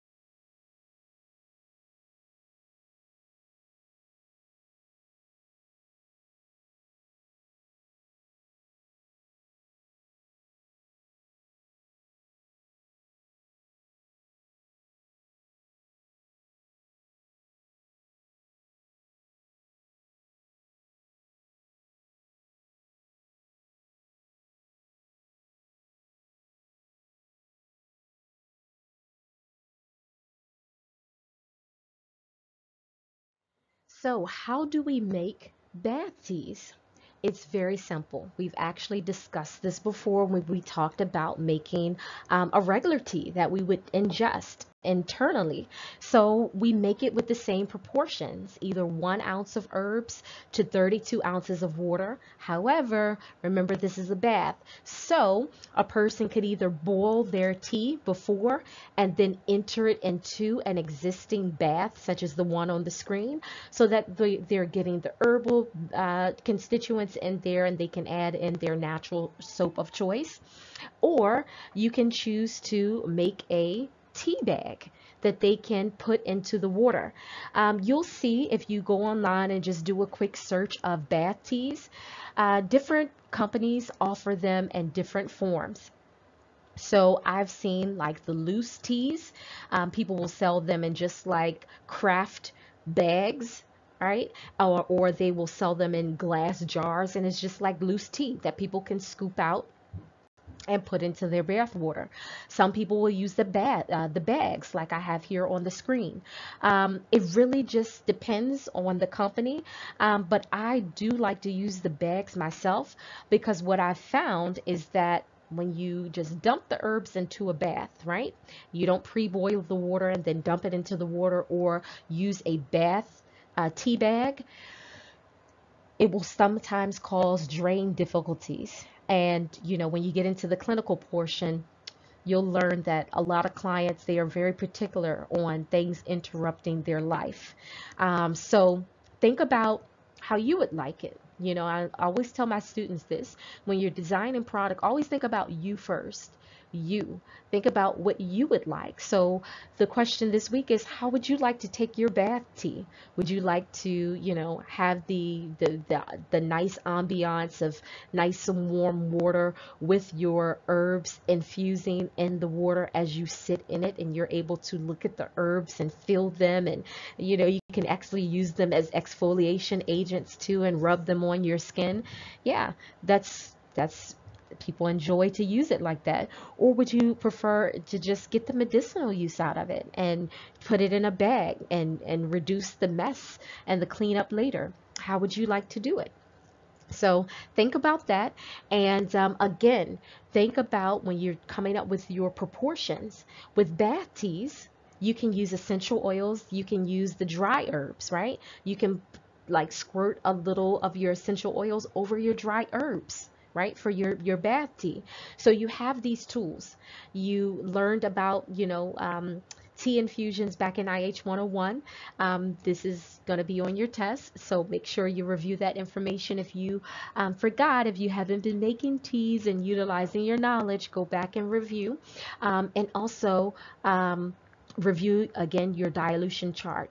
Um, so when you're designing your medicine this week you can know that, you know, how many drops you would need to use per, you know, however strong you want your um, bath tea to be. So that is it for bath teas. I hope you enjoyed learning about bath teas um, as much as I like talking about it. And um, that's it for the lecture this week. So let's go over your homework assignments really quickly. So you have your herbal readings, um, your medicine making activity, which is optional. You also have your reflections post um, as usual. So each student is required to write a summary of one topic covered in our weekly lesson. Again, it can include poetry, a video, or some other work that you've cho chosen to cover. Also, don't forget to comment on three classmates' posts, and that is required for full credit. Until next week, inshallah, assalamu alaikum wa rahmatullahi wa barakatuh.